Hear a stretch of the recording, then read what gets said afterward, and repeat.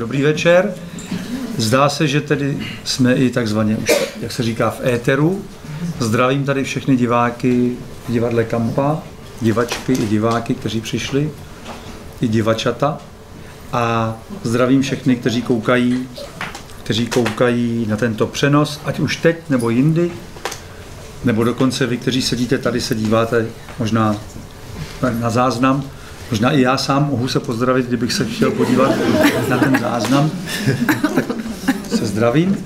A e, řeknu pár takových slov úvodem. Jednak technická věc pro ty, kdo to nevědí. Neděláme přestávku, běží to zhruba do 10 hodin, tak nějak okolo desáté končíváme. Kdo potřebuje přestávku, si ji vytvoří sám, potřebuje odejít nebo si něco koupit na baru, nebo se jen tak nadýchnout, výjít ven, nebo prostě už to opustit, že už to nebaví. Klidně, svobodně, pokud možno bez nějakého velkého hluku nebo bez nějakých zbytečných výkřiků. Opuste, když tak sál, takže volně si děláme přestávky. Kdyby někdo potřeboval tady třeba tančit chvilku, nebo se tady chvilku válet, klidně sem přijďte. Kdyby už mu bylo dlouhé to sezení, tak tady je možno chvilku tak jako poskakovat nebo něco. Kdybyste měli nějaké otázky k tomu, co budeme tady povídat, tak samozřejmě jsou vítány ty dotazy. Podle své chuti buď to, to vykřikněte, nebo sem potichu přijďte a pošeptejte. Jak se... No a to je moje žena, která tady nenápadně utíká takhle. A to nebaví. Nebaví to. Rychle. Ona nemá ráda tyhle ty saviky, ty úvody. A teď bych vám rád ještě řekl k této dušika, že ona vznikala velmi zvláštním způsobem, protože tady měli sedět indiáni kogy podle, podle původního plánu. Pak se ukázalo, že indiáni kogy budou muset odjet už na konci, nebo na konci srpna, začátkem září, protože jim nebylo prodlouženo to výzum. Výzum mají 90 dení v Kolumbii a nebylo možné, aby sem přišli stejně jako do Plzně na Avatar 24. září, tam nemůžou být, protože už jsou zpátky v Kolumbii. Pak se vymyslelo, že teda to bude bez těch kogy o těch kogy. Pak se ukázalo, že to je mírně spletité, což tady nechci vysvětlovat, takže jsme udělali jakou dohodu, že to když tak ještě posuneme někam na listopad nebo prosinec. A mezi tím se vynořily nečekané souvislosti. Jednak e, jsme si povídali s Radkem Wolfem, zde přítomný Radek Wolf. A, o, o sibirském šamanovi nebo o sibirských šamanech. A s Pavlínkou Brzákovou. To už se setkáváme průběžně a ona jezdila na Sibiř, setkala se také tam s místními šamany, napsala několik, nebo dokonce mnoho knih, několik z nich o, těch, o tom šamanismu nebo o šamanech. A ukázalo se, že jeden z těch šamanů sibirských se tady setkal v létě právě s těmi šamany nebo s těmi mami, kteří se říkají mamo, mamové, kogíští, tak on se s nimi setkal, Radek byl u toho a spolu tam pracovali asi týden, že jo, jestli se nepletu. Uh, my jsme byli, uh, dalo by si průběžně. Průběžně, průběžně dokonce průběžně. během toho, během toho léta. Takže vznikla taková zvláštnost, že bychom si mohli povídat o setkání sibirského šamana s těmi kogijskými šamany. A do toho se mi ozvala Katka Kuřátková. Katka Kuřátková. S tím, že znovu do naší republiky přijíždí Veres Carvajal, která tady už byla, nebo byli tady spolu na Dušika, no a že znova přijíždí a že bychom mohli si popovídat zase o nějakých novinkách, které se, které se objevují v tom tématu dětí, které se učí rozšiřovat svoje vnímání a vědomí a pracují tou metodou mimo jiné vidění bez očí, tedy, nebo oni tomu říkají extraokulární vidění, nebo jak se to tak označuje. Vždycky ten název je takový nějaký, ale jde o to, že ty děti mají zakryté oči a přesto vidí, naučí se vidět a teď jsme si říkali, to je dobré, to by se mohlo potkat s těmi šamany, e, s těmi různými historkami o oslepnutí šamanů a zase o tom, jak oni potom vidí, ačkoliv jsou slepí. Tak jsme se takhle prostě sešli tady společně dneska s vámi a večer je zcela otevřený. Říkali jsme si, že začneme takovými těmi příběhy té zvláštní spojitosti mezi Radkem a Pavlínkou. která, jak Mám si, to navázat? ty to naváž, která samotné je překvapila. No a kdy ještě takovou odbočku řeknu, pokud čtete časopis Regenerace, tak zase úplnou shodou náhod, já to otevřu, to poslední číslo. A Pavlínka Brzáková tam píše o Radkovi Wolfovi článek a o sibirském šamanovi Erdénim, o kterém tady má být řeč, tak dokonce o tom vyšel rovnou takhle článek paralelně, takže kdyby zase někdo chtěl si to ještě prohloubit nebo tam něco proskoumat, tak si podívejte do té regenerace. Tak takhle asi zhruba jsou tady teďka rozloženy ty energie a Radek by tedy vzal úvodní slovo. Tak já v prvé řadě chci poděkovat, že se mohu účastnit tohoto divadla.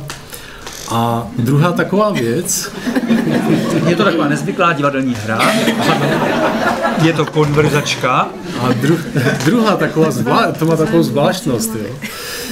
Já navážu na Pavlínku, protože my jsme vlastně eh, v 91. roce, aniž bychom se znali, tak jsme se dostali do Ruska. Já jsem si koupil tehdy kamion v 90. roce a v 91. roce jsem jezdil s kamionem západní Evropu, Rusko a zalíbilo se mi Rusko a pak jsem už jez- jezdil jenom prostě ze západní Evropy jsem přesouval jenom zboží do Ruska.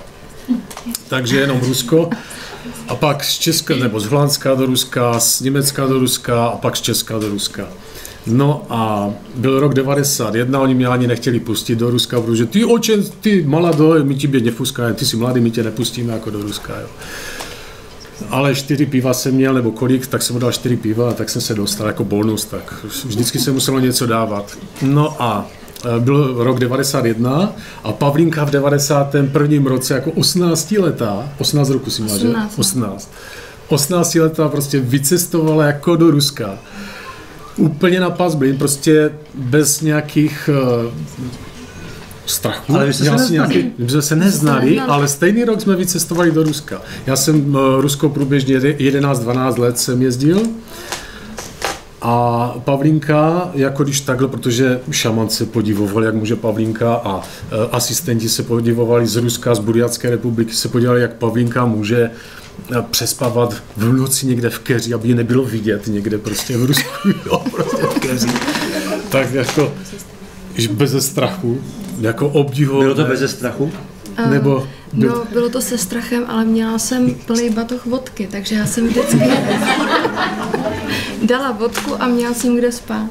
Aha. Jo, ne vodku, že by si ji pila Ne, proti strachu. ne, já bych nemusela v těch keřích se jo, v těch keřích, tak- aby si ne? Tak já jsem dávala vodku a pak jsem měla bydlení. Aha, A takže- becherovku pro lepší jako společnost. No a co tě tak jako vlastně vedlo to jako prvně, jako Becherovku si dala a jako, že jsi to už si věděla. No, becherovku jsem nechala právě pro šamana do Burjacka. To jsem Aha. vezla a to jsem šetřila. A počkej, to bylo k tomu uh, s Kondráškovi? To bylo, a nepřeskakuj tak. Jo, dobře. Takže jak ses dostala vlastně v těch... Postupně se v tom vyznáte. Budou takové, budou takové různé skoky, takové jakoby, protože ono, víte proč to je?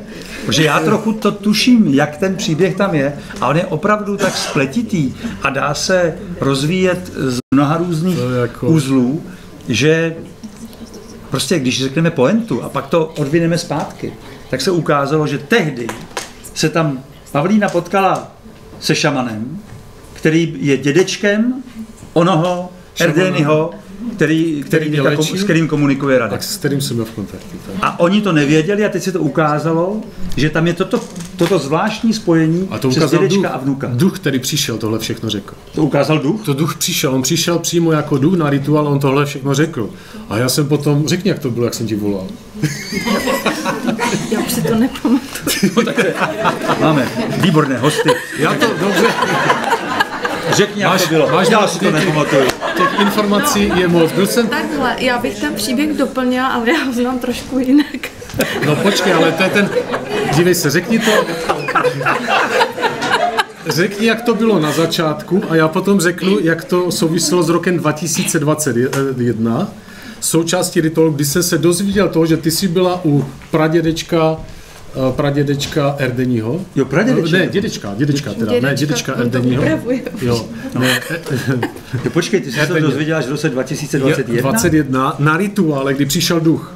Dobře, tak, to, tak si to řekneme. To je docela zajímavé. Pojďme se, hele. Já můžu, to, můžu zrušit tohle Nechce toho ducha. Ne, mě to řekl uh, Erdeního tatínek. že ten Kondraška je zřejmě ten dědeček.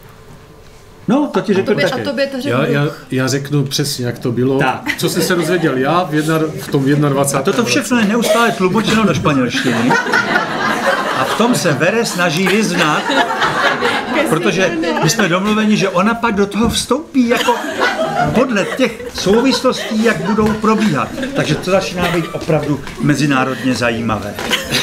Takže, hele, to nás všechny zajímá, jak přišel, co to je, že přišel duch? Co si podíváme představit? Ne, já bych to- navrhovala, že by ty si řekl svoji verzi a já svoji. No, lidi, ano, Dobře, tak o to neříct tu verzi. Ale dobře, si chci říct první, jako dáma mám Tak před. já řeknu svoji verzi asi zároveň. Můžete je říct aspoň postupně ty verze. Ne, dobře, já, já Tak ji řeknu jedna. teda, dobře. Tak já jsem se dozvěděl v 21. roce, já jsem to nevěděl. Já jsem byl součástí rituálu, rodového rituálu svého a mm, e, mění se tam různí duchové, kteří přicházejí. Jo, někdy se na rodový rituál přijde jeden duch, nebo dva, nebo tři, nebo zástupní duchové, nebo rodový uh, duchové předků. A ti jsou většinou slabí, tak přijdou zástupní duchové. A jeden z těch zástupných duchů přišel tehdy na rituál, uh, duch, který prostě řekl asistentovi, protože ten duch mluví staroburiackým jazykem a ten staroburiacký jazyk eh, je, ten se používal ještě před mongolskou impérií. Mm-hmm. Jo, to je starodávný jazyk. A ti duchové mají mnoho jazyků, ale my neznáme tolik jazyků, tak tam ještě jeden duch, který to překládá do buriačtiny a ten duch to překládá asistentovi a asistent to přeloží do ruštiny a z ruštiny to překládám do češtiny. Takže se Bůh ví, co ten duch řekl, že jo. Ale výsledkem tedy těch překladů bylo to, bylo to, že uh, říkal, vidím, že tady byla Pavlínka na dvou eh, rituálech, ještě před asi měsícem, ale uh, vidím ji tady, že byla. A je škoda, že tady dneska není, nebo jako škoda, používám škoda jako v českém výraze, ale že by si s ní rád popovídal, protože uh, byl to duch šamana, eh, právě, Kondraška se jmenoval, ale to měl přezdívku. On se jmenoval Lapson, to bylo jeho pravé jméno. A eh, mrzelo ho, že si nemůže popovídat s Pavlínkou, která nebyla zrovna přítomna u rituálu. No a uh, tak ho to jako, ne, že by ho to mrzelo jako ducha, ale že by prostě měl radost, když už přišel, takže by si popovídal. A ještě jsem myslela, že jsem stalo špionka. Se, ne, ne, ne. To, a teď, teď vlastně to došlo tak, že on říkal, pozdravujte Pavlinku a věříte jí jako můj velký pozdrav. Jo? No a já, se, to byl večer a já jsem teda potom teda přespal a na druhý den volám Pavlince a říkám, Pavlinko, víš, kdo tě pozdravuje? Nevím, duch tě pozdravuje. po telefonu říkám, duch. Můžeme takhle mluvit mezi lidma, říct prostě duch, jo, pozdravuje. Kondraška tě pozdravuje. A já říkám, Pavlínko, vzpomínáš si na jeho pravé jméno. Kondraška je přezdívka. On to neměl moc rád, aby ho takhle jako přezdívali. Jaké je pravé jméno? Jo, já mám zapisníček, ale já jsem ho už neviděl 10 let a tam ho mám napsané. A já jsem ti to připomněl, Lapson jsem řekl. Jmenuje se Lapson. Jo, Lapson, jo, jmenuje se Lapson. Takže si vzpomněla. No a Lapson vlastně byl šaman, který pracoval, který odložil tělo před 25 lety v Buriatské republice na Sibiři. Když žil, tak ty si jako mladá holka byla u něho. Tak můžeš říct, jak to vlastně navazovalo na tu minulost. takže tohle to je to, a teď ještě, ještě než to řekne Pavlínka, tak já se jenom zeptám, abychom si to tak trochu tady pro, pro auditorium urovnávali, eh, když přijde duch na tvůj obřad, ty ho vidíš? Jo? V tu chvíli Jsou tu různí duchové. Jsou ty jsi v takovém stavu, že ho... eh, Ano, a ono navíc eh, tam je velmi silná energie, velmi silná. On vstupuje do šamana, uh, on musí mít, já nebudu, prosím vás, nebudu vš- odhalovat všechna tajemství. Uh, nemám oprávnění, ani nesmím, ale něco mám povoleno od, eh, od šamanu. Uh, má nebeskou korunu. Jo, ta, t- skrz tuto nebeskou korunu, eh, protože jsem byl i v Jižní Americe a přeskočil a byl jsem součástí v Jižní Americe u šamanů, ale toto jsem viděl zatím jako nejvyšší level. Jo. Mm-hmm. Kdy dokáže skrz nebeskou korunu spustit uh, ducha do svého těla. A ti duchové jsou různé velikosti a mají různou sílu. Ale někdy ta síla je taková, že mu to i trhá, prostě on má jízvy třeba na rukách, jo, protože mu to trhá kůži, protože oni jsou velcí a je tam velká síla a on se nafukuje. A nebo je tam malý duch a mu se svrkly nohy a měli ve vzduchu na malé židli. Říkám, to není možné, co to má za nohy. Já říkám, já jsem se na to díval, říkám, to není normální, když on měl normální nohy předtím. A boty mu vysely a plada, on to má jinak napevno, jinak se trhají boty. Když je velký duch, tak zase se trhají boty. Jako. takže, takže to, je jako, to, je, to je na dlouhé a dlouhé povídání. Jasně, takže jo? vidíme, že to je opravdu napínavá záležitost, někdy to napíná i tu kůži, nebo, A navíc- nebo boty. A mě to jenom o to, abychom si vyjasnili, že přijde duch, že ty jsi to prostě viděl. To znamená, ty v tu chvíli opravdu to slyšíš, i tu Vidím- teda řeč, které nerozumíš, pak to někdo překládá, až to k tobě dojde. Já si to dělám jenom tak jako technicky. Když je špatný překlad, jako není to legrace, je to fakt vážná věc, opravdu, tam musí být zodpovědná Pa- Pavlinka, ví, že to je velmi zodpovědná věc, nesmí se udělat chyba v překladu, jo. Ten A se stane? Duch se ten, ten duch to hned napomene. Hned vidí prostě, že je prostě chybný překlad a hned, takže znovu ještě popravujeme, upravujeme překlad, jo, a pak jak je to přesně v pořádku, jako, jo. Jasně, tak to, je, to byla jen takhle technická poznámka, teď to nech. A teď má Pavlínka tu svou, Tak. tu svou árii.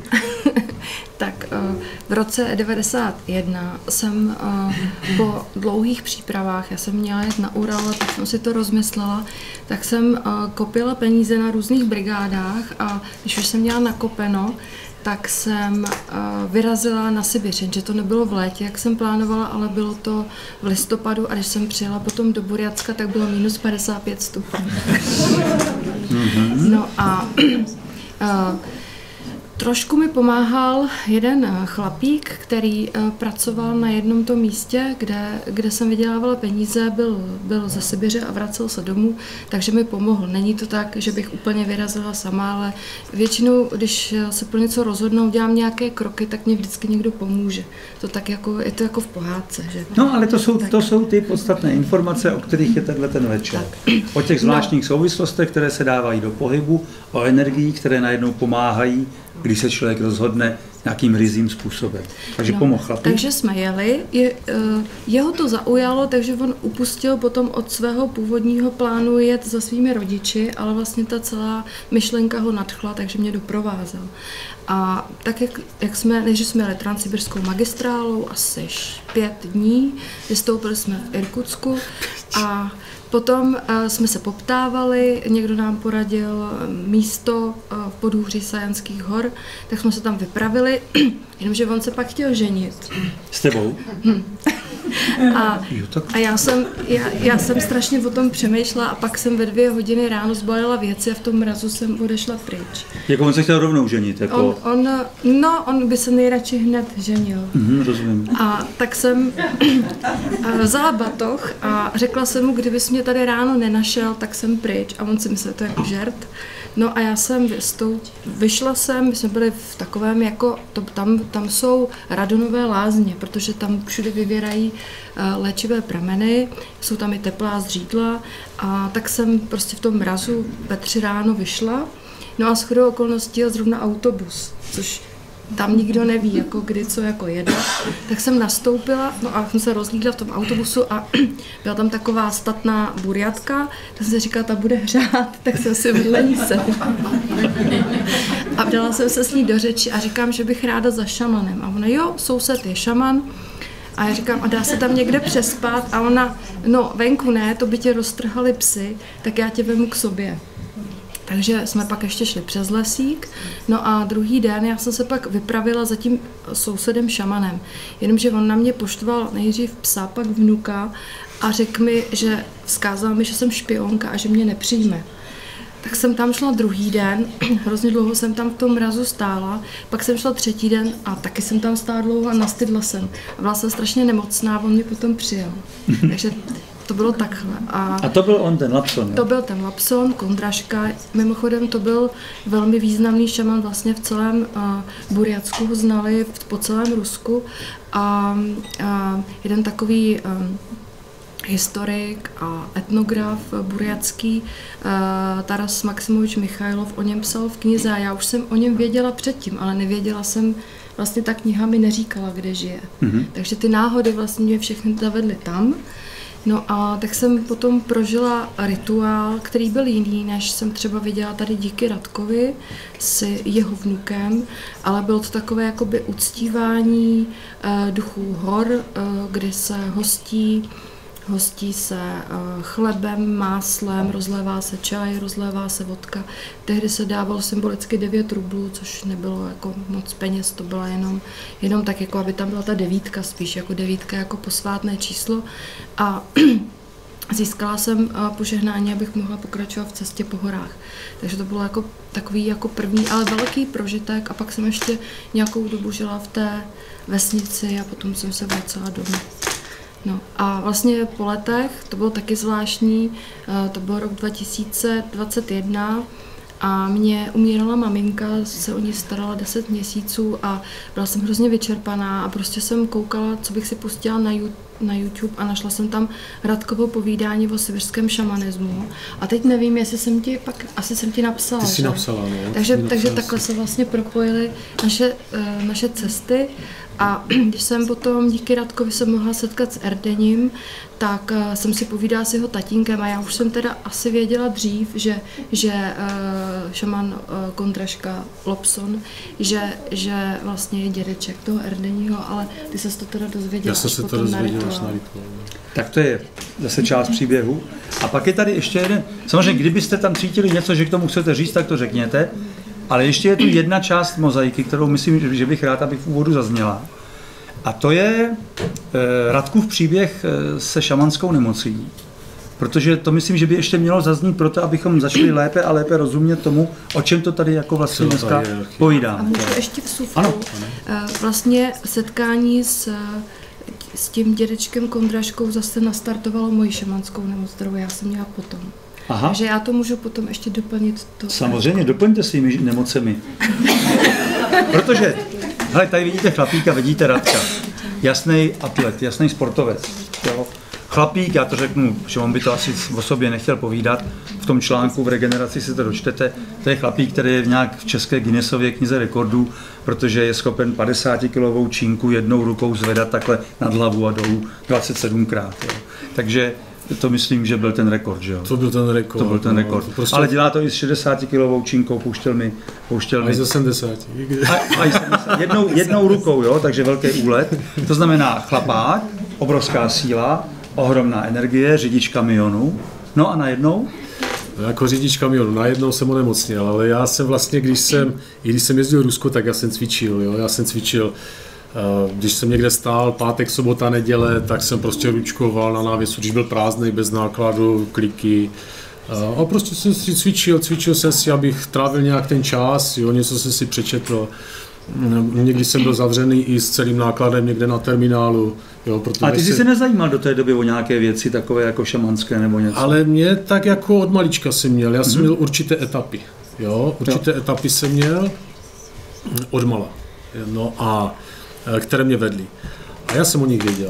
Ale nebyly rozvinuté, až potom se začalo dít to, co se dělo. Byl, sportoval jsem, Deset roku jsem neměl, si to pamatuju, já jsem deset roku neměl rýmu, nic prostě, na mě všichni mohli kašlat, jo, prostě odráželo se to ode mě jak pingpongový míček, jo.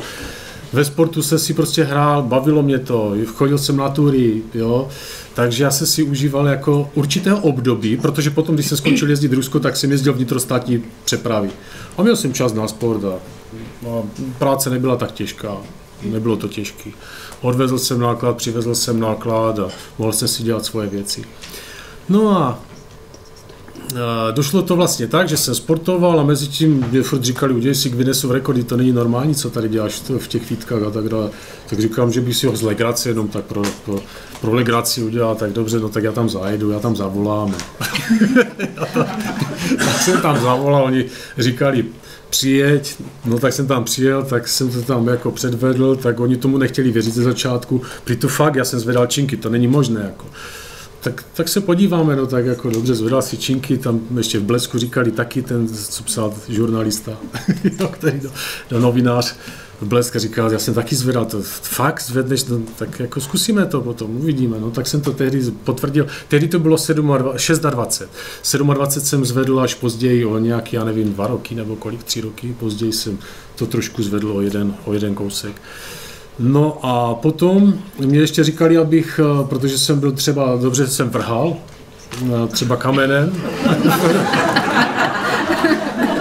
nebo měl jsem prostě talenty prostě i na jako jakékoliv vrhy. Prostě. No jasně, to, no, hele, tohle no, to už a, chápeme. A, teď, a, a, a, teď, a do toho No a do toho vlastně potom, eh, oni mi ještě říkali, udělej si Guinnessu rekord jako prostě na ty vrhy. Já jsem říkal, no dobře, ale oni říkali, potom zase to změnili, že by potřebovali něco pódiového. Tak, eh, že by museli prostě na hřišti a že tam nebudou tahat lidi. Tak já říkám, dobře, tak na hřiště ne. Jo, protože jsem měl ještě házel kdysi kamenem vize 173 a něco, 173 metrů, takže skoro dvě fotbalové hřiště jsem přehodil. Skoro hodně. Ne, že bych přehodil, skoro dvě jsem dohodil, dvě fotbalové hřiště. Tomu taky nevěřili, že? Tak říkám, dobře, já zkusím natrénovat, dokud ještě mám kolem té 40, protože pak se to bude zpomalovat všechno to tělo, že? No tak uh, oni napřed, že jo, ale pak řekli, že ne, že potřebují něco pódiového a že tak z toho sešlo a tak jsme si akorát, tohleto, akorát, jsme si se, akorát s jsme si právě si šamany jsme si zahazeli teďka na Bystříce. Jo? No, jako na přehradě jsme si zahazeli spolu, jako, jako dobře, on je dobrý, dobrý jako atlet. A dobře jsme si zahazeli. Jako. Dobré, takže, no a e, dopadlo to tak, jako když to přeskočím, zase se vrátím, protože to je moc. Tak 10 roku jsem prostě byl zdravý, všechno, nic, nic a najednou uh, propukla u mě genetický problém. A to ti bylo kolik? 44 rovný. 44 rovný. V roce 2013 a tělo se začalo strašně hroutit. Jo? Vnitřní orgány, začal jsem prostě hm, ztrácet zrák, eh, v hlavě prostě pět takových úderů každou chvíli, prostě jako když kolem mě projede Titanic z lodní šroub, hučelo mě strašně moc v hlavě, prostě klouby, začalo mutace kloubů postupně, jo? různé fleky po těle a tak dále takže eh, deformace kostí. Během chvíli jsem ztratil víc jak 20 kg během měsíce. Jo. Takže ta progrese byla velmi rychlá, no a mm, já jsem se na to i sám, jako měl jsem určitou intuici, eh, takže jsem se na to díval sám, že je to vážný problém, který se u nás spustil geneticky, já to řeknu na rovinu. Máme v, u nás v rodě genetický syfilis, vážné poškození, rodové poškození, vážné takže různé deformity a tak dále. Můj otec nakonec oslepl v 60 letech, ale on měl jinou formu, v ostatních orgánech v těle měl velkou sílu, takže to držel na úzdě, jo? Mm-hmm. ale v očích měl slabší, takže oslepl. Mm-hmm. Jo, oslepl a mně se to hroutilo, tato nemoc genetická se hroutila v celém těle. Jo? Takže vazy, šlachy, úpony, jo? A teďka já, kdybych odmítl všechny chemioterapie, nedostanu nemocenskou, já jsem musel jít do práce, nemohl jsem vynést ani, uh, ani tašku s jídlem, jo? nevěděl jsem, jak překonám den a teďka jsem hmm. jako pořád omdlíval, jo? Uh, ochrnoval jsem bolesti v páteři, jo? kolem páteře, uh, prsty jsem měl prsty mě jako kdyby mrzly, jako kdybych je měl, mm-hmm. když jsem byl děcko a měl jsem zmrzlé prsty a teď jsem mi dal na radiátor. Mm-hmm. Takže takhle pálili, boleli, jo. Eh, nohy to samé, eh, opuchali mě. Takže bylo tam toho, eh, navíc když jsem řídil kamion, tak já říkám, já musím vydělat peníze, já cítím, že potřebuji do, šamanům se dostat, do Jižní Ameriky, potom na Sibir, to, dokonce mě to předpověděla vědma jedna, velmi dobrá, Olinka se jmenuje, tam mě řekla ve 14. roce, že pojedu v 16. roce do Jižní Ameriky, v 17. že mě hodně pomůžou v Jižní Americe a potom ty hlavní kořeny vytrhnou až eh, sibirští šamané. Jo, ti tam na mě čekají stovky let. No a mezi tím, já když jsem se dostal do Jižní Ameriky, uh, mezi tím ještě teda než se tam dostal, to trvalo dva a půl roku, takže dva a půl roku fakt velké muka a překonával jsem každý den, každý týden, každý měsíc, nemohl jsem spát, jo, hlava úplně třeštila, jo, skleněné oči a pořád 24 hodin, 24 hodin se nemohl vydechnout, nemohl jsem se nadechnout, kdybych aspoň hodinu, dvě, byl jsem několikrát v klinické smrti, takže jsem procházel, to jsem se aspoň na chvíli odpočinul, takže jsem procházel různé světy. U, u těchto světů byla moje prababička, se k ní dostanu potom a to všechno souvisí s dnešním dnem. Prababička, která se jmenuje Alten Belik, která žila před 820 lety a ta vlastně způsobila mi šamanskou let, e, nemoc a zavolala mě, volala mě, vyzkoušela se mnou prostě i tu cestu do Jižní Ameriky. A já jsem prostě, jak jsem se dostal v určitém stavu a, s ayahuaskou, a, ne, nedoporučuji všem ayahuasku, opravdu v České republice vůbec ne. Já jsem o tom uh, udělal video, klidně se podívejte, ayahuasca, asistence vědomí a její zkušenost. Tam to dopodrobně popisuju, co se děje v těle a ten, kdo není fakt přečištěn, tak jako otevírá se hematoencefalická bariéra a všechny toxiny z těla jdou prostě do, se nalepují na nervovou soustavu a jsou s tím potom vážné problémy, jsou z toho i sebevraždy a tak dále. Takže velmi opatrně s tím. Musí být u toho fakt zkušený šamán. A těch je málo v Jižní Americe. Je jich málo. No a já jsem měl to štěstí, že opravdu jako jsem se dostal jako do, do nebeských světů, někdo se může dostat jenom do nějakých emocí, někdo se může dostat do těžkých světů a potom můžou být vážné problémy. A e, takže jsem měl tohleto štěstí a tam jsem se setkal vlastně s duchy předků e, a s duchy šamanů na Sibiři a furt říkal, musíš přijet na Sibiř. Uh, musíš, já jsem potom, jak vás najdu, prý nestarej se, cesta mi tě dovedem, cesta tě dovede. Tak jsem se nestaral, rok a půl jsem se nestaral, nevěděl jsem, kde je mám hledat, jak je mám hledat, co mám dělat.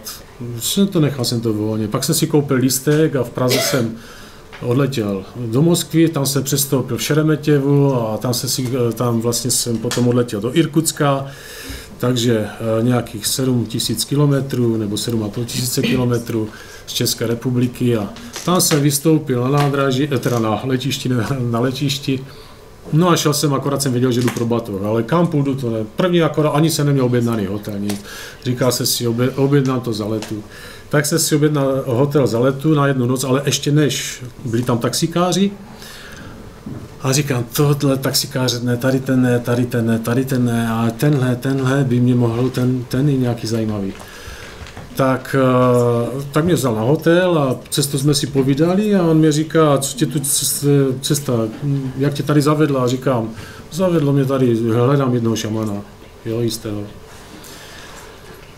A uh, jak se jmenuje? Já říkám, já nevím, jak se jmenuje, jméno ještě neznám, ale vím, že ho najdu.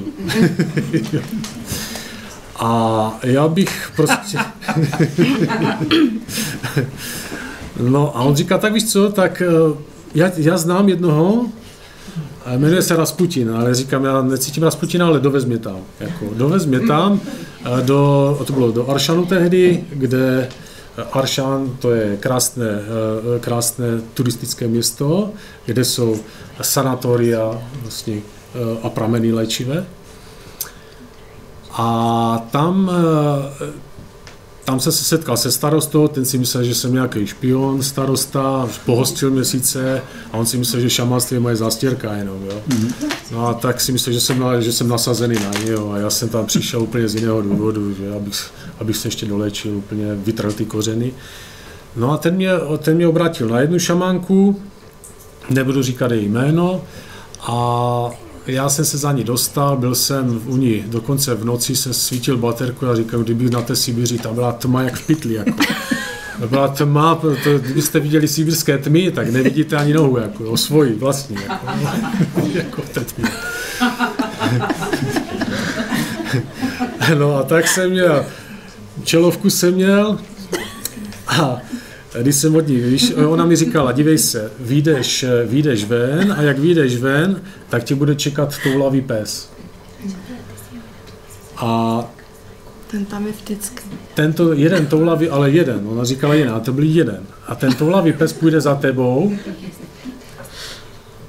až dojdeš do obchodu, kde je otevřeno přes noc, tam bylo přes noc, ale bylo to tak asi tři kilometry, jako když jsem šel lesem, medvědi, nemedvědi, no, tak šel jsem. Vlky jsem neslyšel, tak to bylo dobré a svítil jsem si na cestu. No a tak jsem došel, ten pes šel furt za mnou a že toho psa musím pohostit, že mu musím dát jako nájezd. Jako. Tak jsem mu koupil půl kila šunky, potom v tom nočním obchodě, který byl přes noc, No a najedl se, zůstal tam, pohostil jsem psa, protože on vlastně skrz psa se měl hostit i energeticky svého tátu. Jako pohostit svého tátu, který vlastně už nebyl mezi jako tady, eh, jako živými. No a eh, dostal jsem se na pokoj a potom jsem se hm, eh, Potom jsem na asi o dva dny později jsem se dostal do jedné pekárny A paní mě říkala, která pekla pečivo, jak se sem dostal a co hledáš tady? Já říkám, hledám jistého šamana, ale neznám jeho jméno. A ona říká, jedno nebeského šamana znám a řekla mi jeho jméno a to bylo to jméno. Já říkám, kde má adresu? Ona říká, mám telefon, bydlí zhruba tam a tam a já jsem mu volal, ale dovolal jsem se jako asist, jeho manželce, která vlastně mu asistovala určité věci, třeba i při rituálech a tak dále. A mm, já jsem se za ním vydal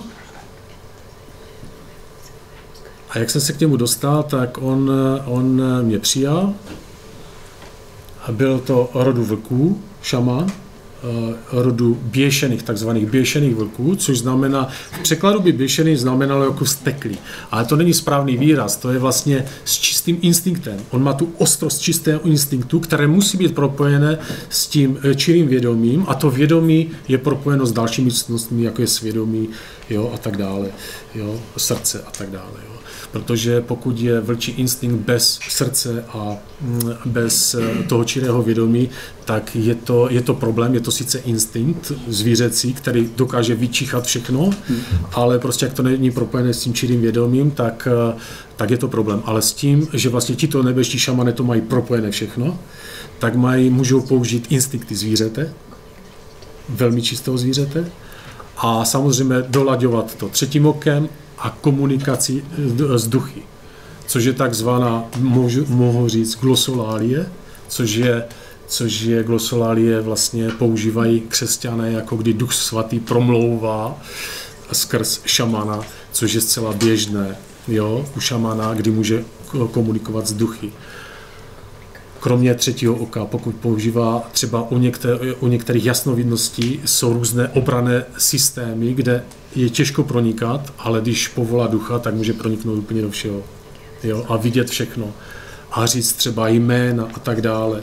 Třeba uh, jsou takoví lidé, uh, když už jsem to takhle nakousl, uh, kteří nám píšou třeba anonymy, jo, a oni nechápou, že pro nás není problém vyhledat jeho adresu a jeho jméno toho člověka, který píše anonym. Já vám mluvím, že to není problém a že můžeme jí dát pohlavek. Energetický pohlavek a on bolí ten A to by bylo jako taková první etapa, jo? oni to nechápou. Ale my nesmíme zneužívat tyto věci. My, okam, my můžeme jako potlačit zlo, anebo zapečetit zlo. Já vám řeknu třeba příklad eh, šamana, kdy uh, pracoval i vlastně, když uh, kriminálka si nevěděla s nějakým případem rady, co se týká vraždy třeba, kde mm, neměli žádnou stopu, tak zavolali šamana. A šaman přijel na místo, kde vlastně mrtvola už tlela měsíc a půl, že? A on vyhledal ducha toho mrtvého, zavražděného. Samozřejmě k tomu potřebuje ještě atributy na, na zesílení psychických funkcí, aby to opravdu bylo všechno prostě OK. Zavolal prostě ducha a mm, tam vlastně e, ta, ta duše toho mrtvého řekla adres, jména všech těch lidí, co ho zavraždili, adresy, takže policajti jeli na jisto, nebo policie, nebo kriminálka jela na jisto. Eh, s tím, že pak už eh, to bylo jenom důkazní proces, jo, na základě důkazů, aby mohli dokázat. Těchto případů vyřešil šaman 15. Oni chtěli, aby pro ně stabilně pracoval, ale on nebude stabilně pro pracovat, protože on je neutrální bytost, která pod nikým nebude pracovat. Jo, pod nikým. Ani pro policii, ani, ani. Nebo byl jiný případ, třeba jiný případ, kdy hm, kdy eh, v, eh, unesli dítě, holčičku, eh, mafiáni a chtěli vykupne. No a nevěděli si rady, tak povolali zase tohoto našeho šamana. No a on se na to podíval. Duchovému ukázali přesně místnosti, všechny místnosti toho domu, adresu, v které místnosti je ta holčička. A už tam poslali jednou speciální jednotku. Jo, holčička zachráněna. On potom eh, udělal ještě takovou jednu věc, tento šamán, že jel za tím, eh, za tím kapem mafie, jako za tím šéfem mafie a řekl mu, dívej se, eh, není problém, já musím držet balans a tvoje maminka je nemocná na základě toho, že mm, eh, děláš nekalé věci. A buď s tím přestaneš a bude to na domluvě, anebo budou tady jiné věci, které přijdou do hry. A on fakt s tím přestal. Jo? Na domluvu. Takže takové, eh, takové věci se dějou. Těch příběhů je mnoho z šamanské praxe. Na to by nám dneska nestačil ani večer, eh, nebo tři, čtyři večeři, eh, večery. čtyři večeře. večeře. večery. A aby nebyl ten monolog, tak klidně to můžeme zase propojit. No a teďka možná tam už vzniká nějaká... Ano, klidně otázka nebo něco. něco anebo možná příběh z, z šamanské nemoci vere. Bueno, yo creo que todos llevamos un chamán dentro. Já říká, že si myslí, že ten v každém z nás je určitá kapacita nebo schopnost těch šamanů.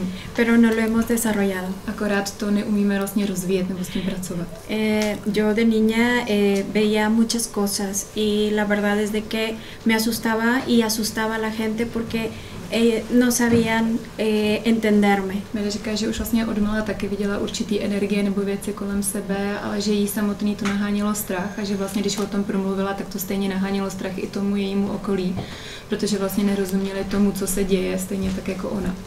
Eh, yo sé que historias como la mía hay muchas. A říká, že ví, že těch uh, takových případů, jako je ona, že to dítě vidí kolem sebe určitý věci nebo je vnímá, je opravdu hodně. Empecé a crecer y obviamente como en mi casa les asustaba, yo dejé mejor de decir lo que veía. Že vlastně v té rodině, kde tomu nikdo nevěřil a spíše to děsilo, tak o tom prostě přestala mluvit s tím, jak rostla, protože tomu nikdo nerozuměl, ani to jako nepodporoval. Pero yo sí sentía como un rechazo a mí misma porque sabía que tenía algo, pero no sabía cómo usarlo. A že to bylo jako její vlastně vnitřní odmítnutí, že věděla, že má tuhle schopnost, ale nevěděla si s tím rady, respektive jak ji využívat nebo používat. Solo los más cercanos se daban cuenta que tenía yo como una intuición muy grande. A že jenom ty hodně jí blízký vlastně si všimli toho, že má velice silnou jako intuici nebo někdy věděla věci, kterým neměla jako informacím přístup. Tanto que pues al final eh, al que no asusté fue a mi esposo, ¿no? A že jediný vlastně, kdo z ní neměl strach, byl nakonec její manžel, který z ní zůstal. A který je dneska tady. A který je dneska tady. Y, pero entonces encontré una persona que me pudo guiar mejor. A že právě začala taky hledat a pídit se po informacích a došla právě k člověku, který ji v tom začal provádět a vlastně učit, jak s touhle schopností pracovat. Yo fui muy escéptica, la verdad, a pesar de que tenía esto, eh, me fui por el lado de la ingeniería y la verdad es que no quería saber nada de intuición ni nada de eso. A říká, že byla hodně skeptická a že by tě vystudovaná jako technická inženýrka, tak prostě uh, ten rozum tam pořád byl jako na, nastaven a um, říká, že to pro ní bylo těžké uh, vlastně rozumět a nebo chtít chápat, že existuje nějaká intuice nebo něco, co vlastně nemůžeme vidět. Pero cuando mi mamá se enferma, le da un cáncer, yo empiezo a orar mucho y me meto con tanta devoción que empiezo a ver cosas muy bellas, pero también a veces veía eh, personas fallecidas. Takže tady ta schopnost se ještě rozvinula ve chvíli, kdy vlastně její maminka rakovinou a e, v tuhle dobu právě začala e, se, nebo říká, že jí funguje vlastně třeba místo meditací hodně modlení, takže se modlila za tu maminku a tady v tu dobu nejenom, že viděla věci hezký, ale začaly se jí právě objevovat e, osoby nebo duše právě už zemřelých lidí. Entonces eh, empiezan las diosidencias, llego con un sanador y entonces veo cómo empieza a tocar eh, la, en ese caso a mi esposo que se había eh, lastimado la columna, cómo ponía sus manos y eh, mi esposo no se podía mover, pero después de esa consulta él se paró como si nada. Že se dostali i k nějakému léčiteli, kdy právě její manžel měl problémy s páteří, nemohl se skoro hýbat a že vlastně tam začala být svědkem právě takových úžasných schopností, že vlastně jenom překládal ruce na tu jeho páteř a uh, on se začal zase hýbat, nebo mu bylo lépe. Y entonces yo le dije, bueno, ¿qué le hace? ¿Por qué eh, pone sus manos? Y él me decía, es energía, simplemente es Takže energía. když se ho ptala, jak to dělá, že vlastně se skoro ani toho těla nedotýká, tak on říkal, pracuju s energií. Y entonces él me empezó a dar libros y yo empecé a leerlos y al, las- al siguiente día que yo iba con él le preguntaba porque algunas cosas no entendía. Takže jí začal, že jí to zajímalo, tak vlastně on jí půjčil nějaký knihy, který si Vere začala studovat a říká, že pak když se za ním zase vrátila, tak chtěla nějaký vysvětlení, protože tam bylo spoustu vlastně věcí, kterým ona nerozuměla v tu dobu. Pasa el tiempo y eh, sigo con él, él me empieza a enseñar eh, cómo puedes sanar tú mismo a otras personas. A ona za ním začala chodit a on jí začal zdokonalovat právě v té schopnosti, jak vlastně tím vlastním působení tou energií dokážeme léčit uh, určité nemoci. Pero algo que siempre me decía es que nosotros tenemos que es, tener la certeza de que podemos hacer algo. A že vždycky jí říkal, že to gro toho nebo tohleto umět je vlastně mít tu sebejistotu nebo tu důvěru v to, že tady ty schopnosti máme a že je můžeme použít. Eh, de hecho, él fue el que me dijo que yo venía a dar visión extraocular. A eh, že to je ten vlastně, který ji navedl na to, že vlastně její cesta je právě skrze to extraokulární vidění. Entonces eh, yo empiezo con eso, pero en el 2015 eh, tuve, tuve un accidente muy fuerte. A že začala s LV pracovat, ale pak ještě se stala jedna taková zásadní událost v jejím životě. Vlastně v roce 2015 měla těžkou autonehodu. Antes de eso yo ya podría, ya me, me aceptaba porque ya veía que lo que de repente veía, por ejemplo, muertos, eh, era verdad, no era mi imaginación. A že už eh, jako dokázala přijmout tu myšlenku, že to, co vidí kolem sebe, je v podstatě realita, že to nejsou jenom nějaké její představy, které nejsou založené na, eh, na tom, co, jenom to, co ona jakoby vymyslí. Y él me decía con una sencillez cuando yo le decía temerosa, ¿sabes qué? Es que veo esto y me da miedo. Y él decía, "Mm, mándalos a la luz. A že vlastně, když za ním přišla, tak mu říkala tohle, ale čím dál víc kolem sebe vidím vlastně tyhle energie nebo ty duše a vlastně mi to nahází strach, eh, nahání strach, nevím, co s tím dál dělat. A on říkal, neřeš to, pošli je do světla. Y entonces, eh, pues realmente para él se le hacía muy fácil, pero yo que no sabía nada de esto, se me hacía muy difícil. A že pro něj, že Věda si v tu chvíli říkala, no pro tebe to je jako lehký, pošli se je do světla, že jo, ale jakým způsobem, pro mě, já nevím, jak je to těžký. Eh, en tantito antes del accidente yo empecé a, a, a ver más gente que habían fallecido y me estaba dando cuenta que era real lo que estaba viendo. A že víc ještě právě předtím, než se stala ta autonehoda, tak právě se jí začaly ještě víc objevovat tady ty duše a že tam opravdu si potvrdila, že to, co vidí, je realita. Después en el accidente, eh, pues el accidente yo iba en la carretera y el auto rodó eh, tres vueltas. A ona, když vlastně jela, eh, jela po dálnici a auto se vlastně dostalo smyk a třikrát se otočilo ve vzduchu, Eh, yo, na- yo recuerdo perfectamente que daba una vuelta y yo decía ya se va a parar, pero luego daba otra y otra, hasta en la tercera que se paró el carro, me empecé, me dolía todo, pero de repente me, eh, me, me fui. A že ve chvíli, kdy vlastně si přesně pamatuje ten moment, kdy se to auto jakoby točilo ve vzduchu, když se udělalo první otočku, tak si říkala, tak snad už se to zastaví, pak byla druhá, třetí a auto se zastavilo a říká, že si pamatuje, že jí eh, v jednu chvíli začalo strašně bolet celé tělo, ale najednou všechno zmizelo a jak kdyby prostě odešla. Cuando eh, recuerdo que cuando me desperté, solamente quise ver mi cuerpo y era luz. A že eh, když se jako zbudila a vlastně eh, se podívala nebo se chtěla podívat na svoje tělo, tak jak vlastně skopla hlavu, tak říkala, že vlastně všechno místo těla bylo jenom vlastně světlo, viděla pouze světlo. Y luego ahí lo que me daba cuenta era de que algo me decía que estaba muerta, pero no quería pensarlo. Že něco jí říkalo, že je asi mrtvá, ale že na to nechtěla myslet. Y entonces eh, cuando yo estaba viendo que no me veía mis manos, sino que simplemente era una luz, volteé enfrente de mí y, vol- y vi otra luz más grande. A že eh, jak se dívala po tom těla, viděla, že nemá ani ruce, že všechno vlastně bylo nějaký jako typ světla, takže otočila pohled a najednou před ní se objevilo jako obrovský krásný světlo. Ahí entonces sentí como esa luz y mi luz se iban juntando y cada vez que nos acercábamos yo empecé a sentir algo muy bello. A že vlastně ve chvíli, kdy eh, že cítila jako, že to světlo a ona jako v podobě toho světla, že se nějakým způsobem začalo přibližovat, neví jestli to světlo k ní nebo ona k němu, ale že čím blíž vlastně k tomu byla, takže začala cítit jako nádherný pocity. me sentía con una paz muy enorme y algo muy bello que siempre que lo quiero describir creo que no lo puedo describir bien. Ona říká, že to bylo něco jako pocit klidu a míru, ale že když to vždycky chce popsat jako pocitama tady na zemi, tak eh, že to nejde, že to bylo něco ale moc krásného. Y cuando estaba disfrutando eso, oigo que alguien me habla. A že když se jako to užívala vlastně tady ten pocit a uh, ten klid, tak najednou slyšela někoho, jak volá vlastně její jméno. La verdad estaba tan emocionada ahí que no le hice caso a la primera. A říká, že vlastně poprvé se jí vůbec nechtělo tomu věnovat pozornost, tomu volání, protože se cítila hrozně hezky. Hasta que otra vez me volvió a, a hablar por mi nombre y en eso reaccioné y regresé muy preocupada. A že najednou uh, znova slyšela, jak volají to jeho, její jméno a že v, v tu danou chvíli se otočila a najednou uh, se vrátila zpátky. Mm, En ese momento me dolía todo, no me, no me podía mover absolutamente nada.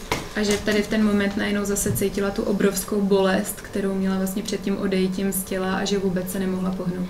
Pero cuando yo iba en la ambulancia, eh, los paramédicos me empezaron a preguntar para ver si re- reaccionaba. že pak už vlastně se probrala, když byla v sanitce a ty zdravotníci se teda po tom, co se probrala, se jí snažili ptát jako eh, na různé věci, jestli je v pořádku, jestli jakým způsobem reaguje. Y entonces uno de ellos me dice, oye, oye, ¿qué estabas haciendo acá? Porque era la- una carretera y decía, ¿hacia dónde ibas?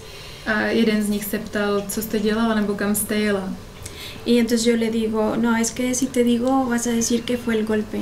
A že ona říkala, no když ti to řeknu, tak eh, si budeš myslet, že jsem praštěna, nebo že jsem se vlastně praštila do hlavy. Y le dije, es que voy a dar un curso. Y él dice, pero ¿qué tipo de curso? A ona mu říkala, no já jsem jela, já učím a jela jsem dát eh, kurzy. A oni se ptali, jaký typy kurzů. Le dije, pues es que puedo hacer ver a los niños con los ojos A vendados. Vera mi právě říkala, já pracuji s dětmi, který vlastně umí vidět se očima. El, el paramédico nada más se quedó asustado y dijo, yo creo que está mal. A, a že zdravotník se tak jako zarazil a, a říkal tam dozadu, já myslím, že je opravdu je špatně. Cuando llegamos al hospital, eh, la, la doctora y la enfermera estaban viendo este, que eh, yo tenía los ojos, las pupilas dilatadas. A že když vlastně ji přivezli do nemocnice, tak um, jí sestra i vlastně doktorka říkali, že má hodně rozšířený zornice. Yo, la verdad, eh, todo ese tiempo estuve bromeando, estuve riendo, me sentía muy bien. A Vera říká, že tady tu celou dobu, kdy ty zranění byly ale opravdu vážný, takže přesto se cítila jako dobře a že se jako snažila vtipkovat s tou doktorkou a cítila se dobře.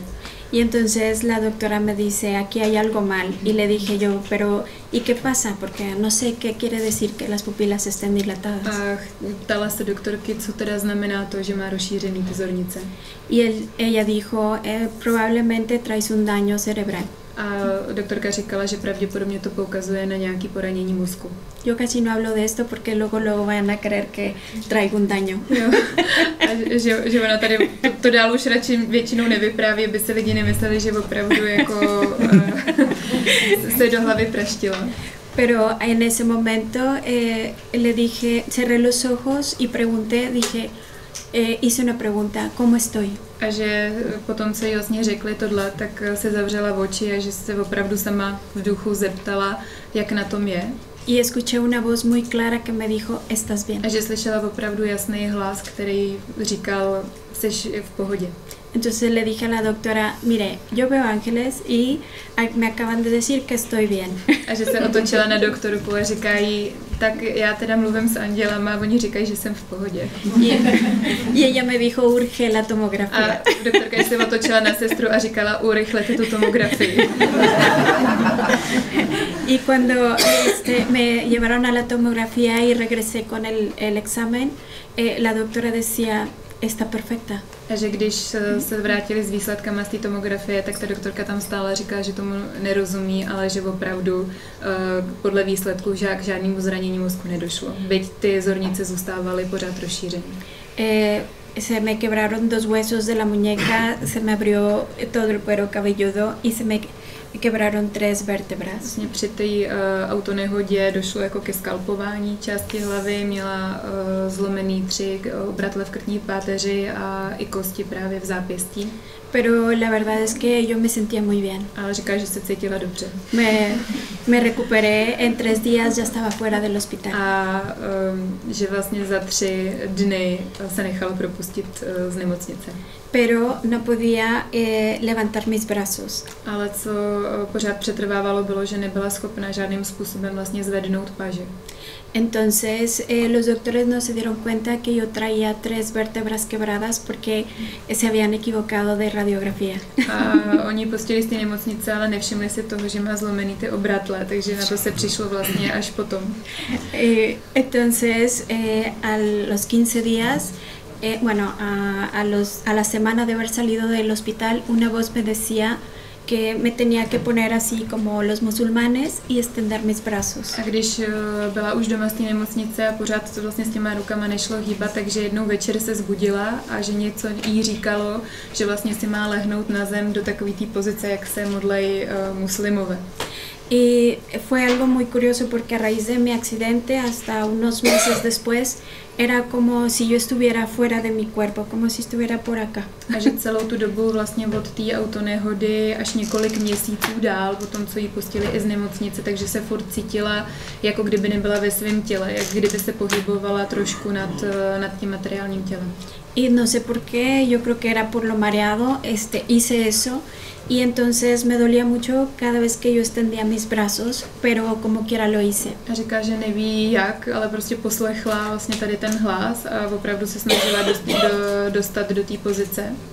ahí fue este, que yo ya empecé a poder girar un poco el cuello y a levantar los brazos. A uh, opravdu předtím říká, že vlastně i mm, šly slzy, jak to hrozně bolelo, ale podařilo se jí to dostat a asi nějakým pravděpodobně způsobem se jí podařilo narovnat si tu páteř a ty obratle a tady vlastně po tom letom, po tady té póze, kterou uh, si udělala, tak se jí, tak začala víc hýbat krkem a zvedat ty paže. Al mes se dieron cuenta que tenía tres vértebras quebradas. A teprve teda po tomhle uh, zjistili, že měla ty obratle zlomený. Y entonces eh, me decían que, que, había, que tenían que ponerme dos varillas y, y ocho tornillos en mi columna. A pořád ten nález byl špatný a vlastně doktoři říkali, že by bylo potřeba operaci, jako provést operaci k, s, s nějakou výstuží vlastně krku a nějaký uh, železný. Y yo les dije, bueno, ok, tengo un curso en Quito, cuando regrese, pues hablamos de la operación. A že Vede říká, že ještě měla nasmluvaný jeden kurz a nechtěla ho rušit, takže se s nimi domluvila, že teda ještě dá ten kurz v Kitu a pak až se vrátí, takže proberou teda možnost ty, ty operace. Y a, a, las tres semanas que regresé de Quito, eh, le dije al doctor, mire, si me va a dejar mejor de como estoy, opérame, si no, ya no me mueva. A že když se vrátila po těch třech týdnech z toho Kita, byla uh, za doktorem, tak mu říkala, chci vědět ve chvíli, kdy mě operujete, jestli na tom budu výrazně líp než teď, tak bych do toho šla, ale pokud není šance na nějaký extrémní zlepšení, tak bych radši do té operace nechodila. Yo creo que eh, realmente fue mi espíritu el que me fue guiando para hacer esto y este, también que la recuperación fuera rápida. A že si právě myslí, že to byl její duch, který vedl vlastně v tom procesu toho uzdravení. Eh, eh, yo siento que todos estamos conectados. Eh, yo siempre he dicho en el curso, no tengo nada especial, simplemente confío en que hay una, es una energía divina con la que nos conectamos y que podemos saber más allá de lo que realmente sabemos. A říká, že vlastně tady to napojení máme v podstatě všichni a že i to vlastně říká během těch kurzů, že všichni máme schopnost vlastně tady na nějakou tu uh, božskou energii uh, nebo něco prostě napojit a získat ty informace, ať už tomu říkáme skrze intuici nebo Eh, cokoliv jiného, tak vědět to, co je pro nás dobrý a i se třeba tímto způsobem právě uzdravit. y que los chamanes eh, ellos están saben de esa conexión y la hacen eh, todos los días y en cada momento y nosotros nos distraemos en otras A, cosas. te, a ten rozdíl nás u těch šamanů je v tom, že oni vlastně s tím pracují dennodenně, uh, trénují to napojení, vlastně mají každý den, zatímco my máme jiné věci na práci. Pero al final yo pienso que eh, él- yo lo veo con eh, los niños de Veo. Empiezan a hacer cosas asombrosas. Realmente nosotros podemos hacer lo mismo. Lo que pasa es de que ellos eh, no es- están más conectados con su espíritu y entonces pueden hacer esas cosas tan asombrosas. A říká, že to vidí i u těch dětí, že někdy dělají věci, které jsou opravdu jako nepochopitelné, neuvěřitelné a že my máme pocit, že tohle nemůžeme zvládnout, ale vlastně můžeme zvládnout to úplně stejně jako oni. Ten rozdíl je, že ty děti eh, to neřeší, mají tohle napojení a dělají to, co se jim řekne, bez toho, aniž by tam dávali ten rozum. Eh, muchas de estas conexiones las tenemos, pero nosotros mismos decimos es nuestra imaginación, fue casualidad y empezamos a desechar lo que nos llega. A že mnoho z nás právě to napojení má, i ty informace chodí, ale my pak si tam začneme říkat, to je náhoda, to jsem si jenom vymyslel, je to nějaká moje představa. A tím, jak neumíme se na to napojit nebo tomu nevěnujeme pozornost, tak to dáme stranou a vlastně se tím neřídíme. Yo creo que hemos sido eh, con mucha suerte, hemos tenido mucha suerte de tener alguien en nuestro camino que nos va guiando para eh, conectarnos con, con nuestro espíritu. A že je vždycky štěstí, když v tom životě nám, nebo v tom životě nám přijde do života někdo, kdo vlastně nám pomůže um, tohleto napojení vlastně se znovu prožít nebo se na ní napojit a vlastně tu, s tou kapacitou pracovat. Pero también creo que ya es el momento de despertar y que entonces muchos de nosotros, si no es que todos, ya estamos en ese proceso, solamente que algunos no lo entendemos. A říká, že si myslí, že teď je doba, kdy vlastně více a více lidí nachází tady tu cestu vlastně zase na tady to uh, jakoby napojení a že si myslí, že, že časem opravdu všichni tady s touhle, nebo doufá, že s touhle vlastně Hmm. tuhle schopnost začneme, uh, začneme využívat. Tak proto tady takhle dneska Mohu vstoupit, Sedíme. navazat k té věci? Zajímavé. Můžeš vstoupit i navázat. Já jsem jenom přemýšlel o tom, že bylo hodně toho řečeno. Pavlínka ještě neřekla svoji šamanskou nemoc. A já bych, protože teď bylo hodně informací, hodně slov, představ, a říkal jsem si, jestli teď bychom si nepustili pár nějakých fotek, obrázků, že bychom tak jako zaměstnali ještě jiný typ vnímání a pak bychom se třeba k tomu vrátili, nebo by někdo Dobře, měl nějakou otázku. Pak, když nemáš něco úplně stručného, takového jako... Ne, ne, ne, já bych chtěl jenom potom eh, navážeme na ty kovy, eh, co se týká té výstuže. Verču zachránilo, že si nenechala udělat výstuž. Máme s tím zkušenosti, ale k tomu se vrátíme. Tedy. Dobře, pak se dostaneme k výstužím. Co? Výstuž. zachránil? Zachránil? Někdo tam dal do pohybu kovy i sklo. Řekneme si té výstuže. Jo? Dobrý, tak k tomu se dostaneme. Co vy na to teďka si pustit nějaký obrázek? Ty jsi chtěl něčím začít? Takže pro jsi teda? tam... Já se ne, nebo chcete dál? Jo? Mně jde o to, že teďka jsme hodně toho slyšeli, hodně jsme načerpali, tamhle už jsme to rozkopli. Obezřetně, prosím. Buďte jemní, vnímaví. Pojďte, Třeba si. pojďte. Takže než eh, začneme promítat, eh, tak eh, všechno na starosti nebo zpracování fotek a materiálu měl Pavel Škopek zde po pravici. Jo, ještě zvedni, postav se chlape.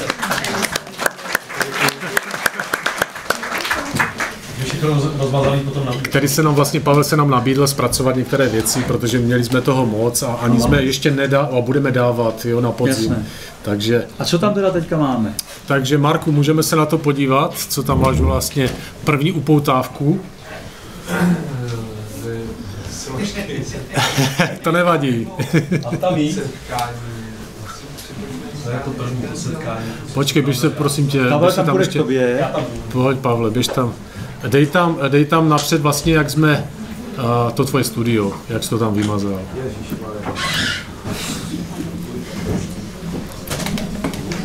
Takže hned se do toho pustíme, no. Ano. Jo, Verčo, hezký to bylo, hezký. To bude, řekneme si, to, Ale řekneme si o těch kovech, to jsou zajímavé věci. O kovech si řekneme.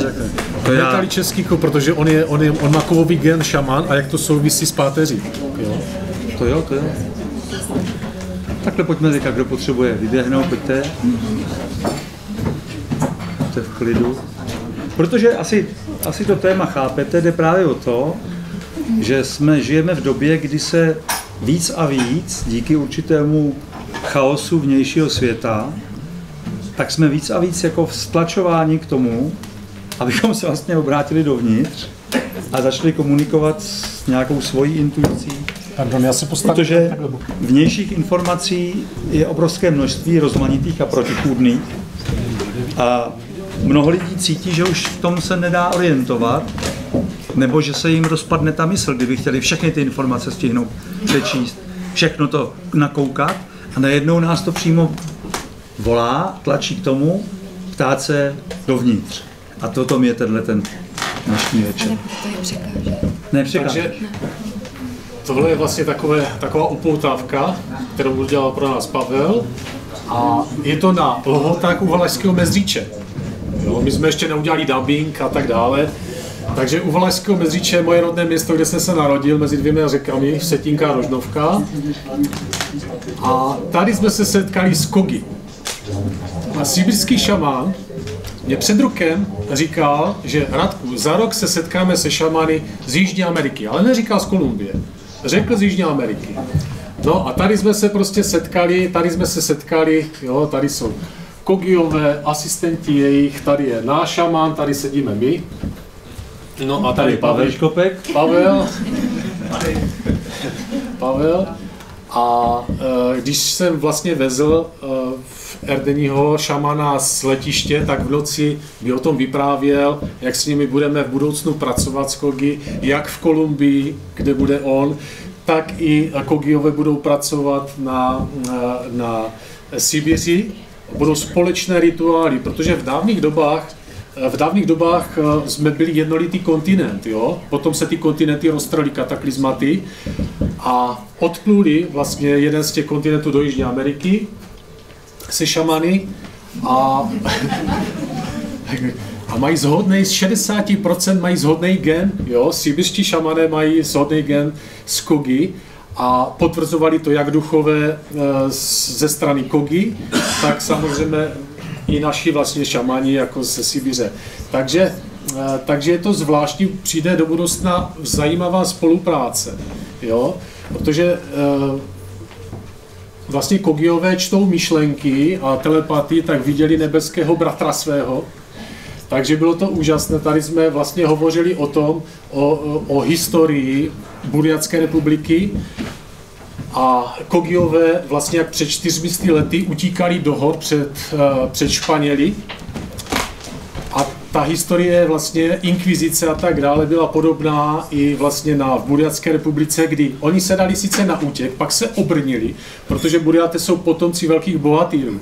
Čistých Buriatů je kolem 16 tisíc i když uvádějí statistiky, eh, že v Burjacku žije milion na rozloze 310 tisíc km čtverečních, což je velká plocha, skoro tři Československé republiky. A, a tam vlastně eh, Burjaté, těch 16 tisíc čistých Burjatů, potomci měřili až 2 metry, silní bohatýři, dvoumetroví chlapi. A postavili se tomu zlu na odpor a zachovali si tradice, zachovali si hloubku svých tradic a e, svůj jazyk, který vlastně i svoje písmo, které se táhne vlastně z nebes dolů. Takže se psalo vlastně z nebes dolů a tady se ukazovala ta moudrost. No a e, a e, vlastně e, šamané, tady máme hudebníka, e, to je zvláštní věc, hudebník, Jardo, víš, který hudebník? Vím, vím. A on špatně vidí na oči. On to vidí jako tankistický průzor. Jo? A náš šaman řekl, já mám tyto případy,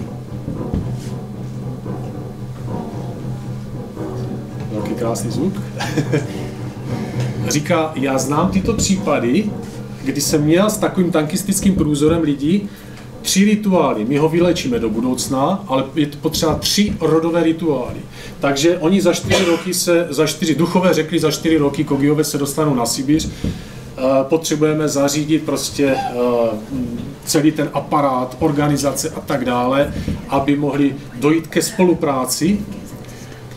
Já vám nastíním jenom, jenom takový náčrt, v jaké spolupráci, protože Kogiové pracují hodně s vodou. Jo? Já nebudu hovořit o tom, co, co dělali zde v České republice, protože mě to nepřísluší, já jsem nebyl v té skupině, ta skupina zde třeba přijde v budoucnu a bude o tom hovořit. My jenom hovoříme o tom setkání se sibirským šamanem.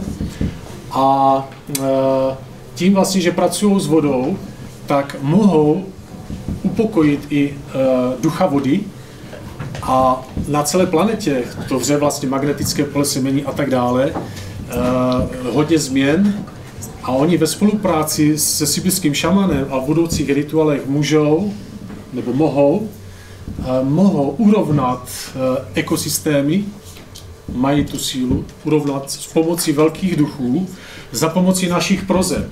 Jo? Prosím vás, důležité naše prozby jsou to. To je velmi důležité.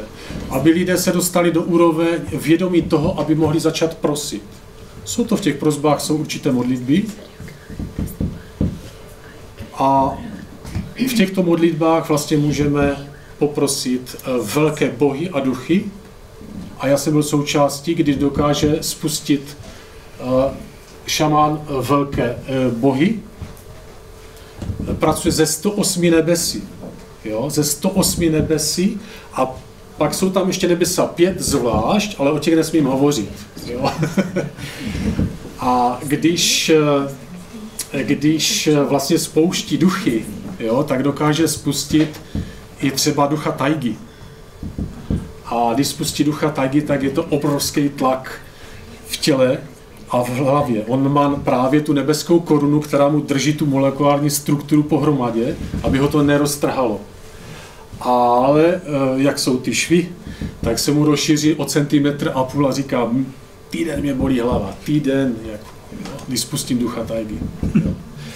Jinak, eh, když byl v České republice, tak ho volali, volali ho, když byl tady na návštěvě, tak ho volali jakuští šamané, kteří neumí spustit ducha, protože u nich hořelo o velikosti Evropy, tajga o velikosti Evropy. A oni ví, že dokáže spustit velké bohy, kteří dokážou uhasit, uhasit ohně. A ono se to děje tak, to vlastně ani ne, tohle to nemohu říkat, jak se to děje, jakým způsobem hasí ty ohně, ale musí ho odvést na určité místo a tam provede rituál, spustí velké bohy a e, když byl v České republice, tak tam nemohl rychle jet, až se, až se tam dostal teda, chvíličku vydechnul a dostal se jako k tomu rituálu a během třech dnů až pěti dnů byly všechny ohně uhašeny. A i v 19. roce hořela taky tajga a taktéž dělali rituály a v, v srpnu, já jsem tam byl v září a v srpnu, v srpnu mm, byla celá tajga, v září byla tajga celá uhašená. No a tady, eh, tady vlastně sedíme moje partnerka Silvie a s Erdeninem po levici No a Silva nám pomáhala s některýma organizačníma věcma, takže já jí děkuji prostřednictvím tady toho. Navíc je to velmi moudrá žena, sama e, překonala reumatoidní artritidu. Ve 20 letech, kdy doktoři říkali, že ne, nepřežije 25 let a pracovala sama alternativně. Velmi, velmi, e, velmi zodpovědně, velmi ale tvrdě, jo, aby to překonala. E, takže tady jsme, tady jsme tady probíhala i taková telepatická komunikace mezi něma. Já zde nebudu úplně říkat všechno, můžeš to klidně stříhnout dál, tohle můžeme jenom krátce ukázat, jo, Marku.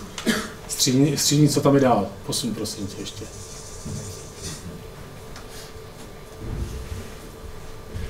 A, jinak, tady ty čepečky, a, ty čepečky, já jsem tam mohl dát fotografii, protože a, mama vlastně říkal, že u nich eh, v Kolumbii byl jeden Rus, který říkal, u nás jsou taky takové čepečky. No a potom teda Jerdenin, eh, náš šaman, ukázal svůj čepeček, který má, že ano, nosí se tady ty čepečky, ale oni to tam mají ještě s takovým jako totémem, což je totém jako ochranný totém. Jo? Takže nebeský ochranný totem, který tam vyobrazuje symboliku. Jo? Takže oni si povídali, takže s, každý den si píšou spolu, jo? Každý den, on mi ukazoval, každý den, a jak se máš, a, a ten, jak se má, jo? Takže společně jako velmi přátelská komunikace a těší se na spolupráci, protože Kogiové hledali pomoc velmi dlouho. A ten den, to bylo 10.7., je to tak, říkám to správně, Pavle? 10.7. Eh, došlo k historickému dni, kdy, mm, eh, kdy vlastně se setkali ty kontinenty na té duchovní úrovni, aby mohli pracovat v té fyzické úrovni spolu. Samozřejmě přes tu fyzickou úroveň do té duchovní úrovni, do budoucna. Takže to je počátek. počátek. To by všichni etnologové po planetě by měli znát tento datum a měli by se psát ve všech knihách. A kdo bude psat bakalářskou práci, tak by měl, tak by měl psat datum a vědět, co to je 10.7. Je to velký, velký den. Velký den setkání těchto dvou kontinentů a vlastně kontinentů vůbec. Uh, uh, náš šaman hovoří... To je parta.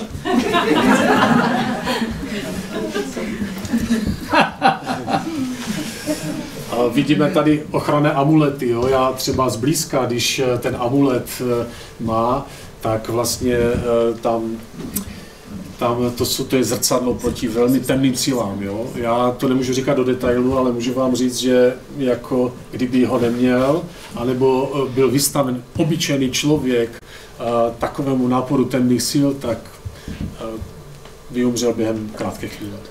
Jo? No a šaman vlastně, protože uh, Buriatská republika je centrum, vlastně centrum, Sibiř je centrum Ázie. Takže oni zůstali, sibirští šamané, u toho domovského ohně, než se roztrali ty kontinenty. A takže ta jejich síla zůstala, aniž by používali jakékoliv psychoaktivní látky, ayahuasku a tak dále. Ayahuaska už je náhražka na posílení, kdy už šamané ztráceli sílu. Jo? Tam to není potřeba. Jo? Takže tam, eh, tam se pracuje vlastně s těmi rodovými rituály. Takže krásné, krásná Pavlínka ví, jak, eh, jak, z jaké je s tím legrace s, s naším šamanem. Dokonce v České republice našeho šamana označují, prostě ty satanista, šarlatán a vůbec nemají tušení ti lidé, jako, kdo to je vůbec. Jo. A to i lidé na duchovní, nebo hlavně na duchovní úrovni. Takže tady jsme všichni tři.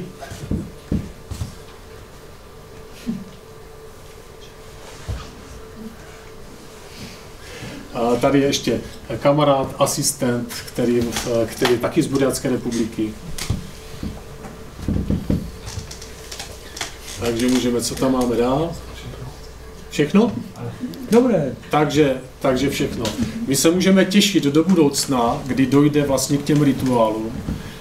Budou to velmi silné rituály, kdy se spojili eh, duchové, duchové velkých bohatýrů, protože eh, planeta Zem je opravdu oslabená velice a duchové bohatýru, eh, kteří v budoucnu se stoupí, tak mohou za pomoci z duchy kogy ve, spole, ve společné práci mohou zapečetit uh, velmi temné místa na této planetě, odkud prostě pramení zlo.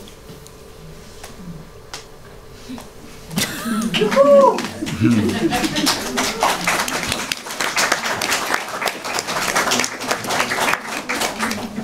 Ale dnešní večer je také o tom, že nelze spolehat pouze na tyto duchy a těšit se jaksi tak nějak v pohodlí, v pohodlí komfortní existence, že to duchové zařídí a že to máme dobrý. Je také o tom, že je třeba ty prozby a zodpovědnost. U každého člověka tvořit určitou praxi vnitřní, vědomí toho propojení a vědomí té možné ohromné síly, eh, kterou můžeme reprezentovat ve chvíli, kdy jsme ve svém středu a jsme sami v sobě. Nedávno, já řeknu takový příklad, který jakoby je zdánlivě odjinut, ale zdá se, že teď se pohybuje takový jakýsi zvláštní šaman ve světě tenisu, tenisu mužů. Je mu 19 let, jmenuje se Alcaraz, stal se světovou jedničkou v 19 letech, vyhrál teďka US Open Je to nádherně hrající člověk, obrovsky talentovaný. A on měl takovou větu, která se mi zdála, že je pro každého z nás, když hrál velké utkání, eh, myslím, že to bylo se Sinerem, kde čelil matchballu. Měl to prohrát. Prostě jeho soupeř měl matchball, měl na talíři tohodle Alcaraze, Alcaraz otočil to utkání a vyhrál ho. A oni se ho pak ptali, jak, jak to jako, jaký to bylo, když čelil tomu matchballu. A on řekl, já jsem ani na okamžik nepřestal věřit své hře. A to je věta, kterou bychom měli každý jakoby v sobě mít, tu větu. Ani na okamžik nepřestávat věřit své hře. Protože pořád jsou určité síly, energie, které chtějí zrušit tu, tu, tu, tu, tu víru v tu vlastní hru a chtějí vnutit jinou hru. Že? A tahle ta věta jednoduchá od tenisty, od kluka 19 letého, je úplně klíčová věta. To je přece klíč k tomu, aby člověk mohl jít po té své cestě rizí, věřit své hře, rizím způsobem, že jo? Ne? Ano. Něco napadlo. Tak to řekni. A mě teďka napadlo, že vlastně na Sibiři se vypráví, že člověk ze své cesty sejde sedmkrát. Ale to uh, sejtí z právě z té cesty je vlastně o to silnější návrat a že člověk by měl právě prožívat ty návraty, aby se upevňoval v té své víře, vlastně ano. v tom svém kráčení a bez těch sejtí z cesty by vlastně si toho nevážil. Hmm. No to čelíš tomu mečbolu. to je ten... No, tak a to je teďka takový úvodní, já nevím ani kolik je hodin, blok. A teď je třeba možná prostor pro vaše nějaké otázky, protože tady jako cítíte, že každý by mohl vyprávět hodně. Každý z hostů by zabral několik večerů. Jo? A asi to téma, to, to, to, to, to, co je ve vzduchu, to je jasné, o čem to mluvíme. A asi nejde o to říkat každý detail šamanských praktik a technik a co umí Erdény a co umí Kogi a co oni všechno udělali. Protože e, jsou to věci, které někdy ten běžný rozum takzvaně přesahují, ale to stačí jenom, že já jsem se vrátil z, z víkendu zase z přechodu přes žhavé uhlíky a tento jednoduchý, tato jednoduchá věc, přechod chůze po žhavém uhlí, je pro mnoho lidí vlastně už něčím nepředstavitelným nebo divným nebo nepochopitelným. E, už jenom toto jednoduchý. Tam to chodí děti čtyřletý, pětiletý, to přecházejí, že jo. E, nádherný děti přesto chodí. A přesto tam někteří z těch dospělých tam sedí pořád s takovým polovyděšeným nebo nechtějí jít, nebo se vymlouvají, nebo pořád tomu nechtějí uvěřit, ačkoliv to pořád vidějí, jeden jde, druhý jde, desátý jde, jo. A tam je fan výborný to, jak tam prostě přijde, bylo nás tam asi 60, jo. Tak 60 lidí to přejde, no a přesto pořád jako je to málo pro některé, kteří budou zase hledat, jako proč to nejde, jak to nejde a budou chtít z té naší hry nás jakoby odvést. Takže někdy jsou to i takhle jednoduché věci, které si může každý vyzkoušet. Přejít si žhavý uhlíky a ověřit si, že věci jsou trochu jinak, než běžně bychom předpokládali. No. Tak máte nějakou otázku? Někdo? Eh, Vere, máš otázku? Ne, otázku, co bych chtěla říct. Jo, Vere má odpověď. A nebo má někdo odpověď? Ty jsi tam hlasil, ne? Hlasil se někdo? Ty jsi promluvil na ženu asi tam neviděl. Tak Vere, řekni. Y, eh, a raíz de mi accidente, algo eh, que aprendí fue de que eh, unos meses antes de mi accidente yo le había dicho a mi esposo que yo me podía ya morir tranquila porque yo veía que mis hijos ya sabían el camino para salir adelante. Něco se taky na té uh, autonehodě ještě naučila, že vlastně si ji v podstatě sama přivolala, že několik týdnů předtím, než se jí ta autonehoda stala, takže svému manželovi řekla, že teď už může v klidu zemřít, protože její děti se o sebe dokáží postarat. Y, ah. entonces, eh, cuando me pasó eso, entendí que lo más preocupante en mi vida era dejar a mis hijos. A že když se jí tady to stalo, tak pak vlastně si uvědomila, že ten její jako největší strach bylo to eh, nechat tady ty děti. Porque mi esposo yo sabía que él podía salir adelante y que los podía sacar adelante, pero eh, yo quería estar ahí para ayudar a mis hijos. A že ten její manžel už jí věřil, nebo věřil těm dětem v tom, že to všechno zvládnou i do té doby, ale ona pořád ještě byla ta, která se jim snažila vlastně jakoby umíst tu cestu. Pero cuando yo le dije esto a mi esposo, estaba convencida de que ellos ya no me necesitaban. A že když tohle tomu manželovi řekla, tak vlastně to byl moment, kdy už opravdu byla přesvědčená o tom, že jí ty děti nepotřebují.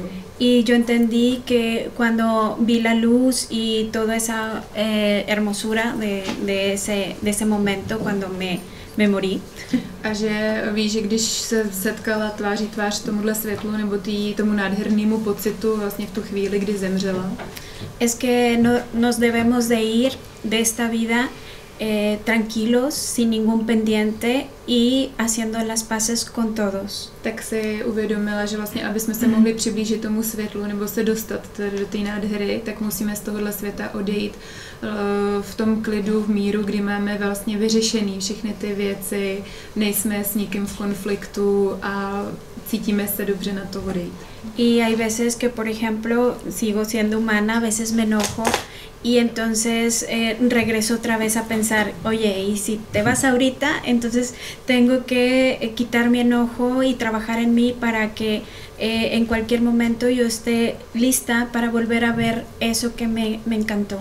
A říká, že pořád eh, i někdy jí samotnou něco vyhodí právě z toho středu a třeba se naštve nebo uh, s někým je uh, v nějakém konfliktu a že vždycky tady v ten moment si na tady to vzpomene a řekne si, ne, musím to hnedka napravit, protože v tomhle bych uh, vlastně nechtěla z tohohle světa odejít, protože když z něj s tímto pocitem odejdu, tak se do něj vlastně s tímto pocitem zase vrátím.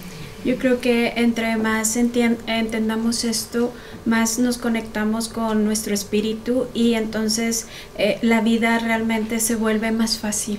A že vlastně ve chvíli, kdy tohle pochopíme, tak dokážeme udržet vlastně to napojení na toho našeho ducha nebo uh, tam nahoru a i tak vlastně se pro nás ten život snaže s- stane jako jednodušším.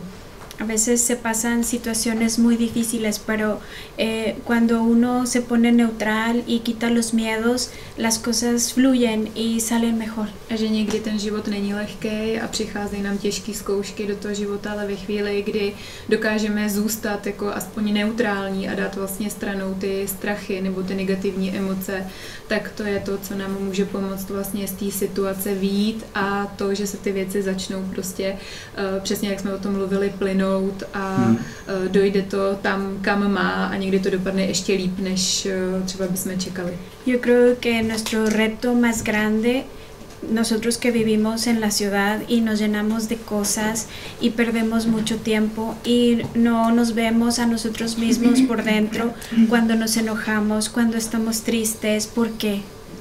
A že vlastně my lidi, kteří žijeme vlastně v, v městech, tak pořád máme jiné věci na práci, než právě, aby jsme se eh, vrátili k sobě a eh, nezabývali se i těma negativníma emocemi, jako jsou je ten hněv, závist, smutek a přesně jsme se, eh, jsme se dokázali napojit a jít dál.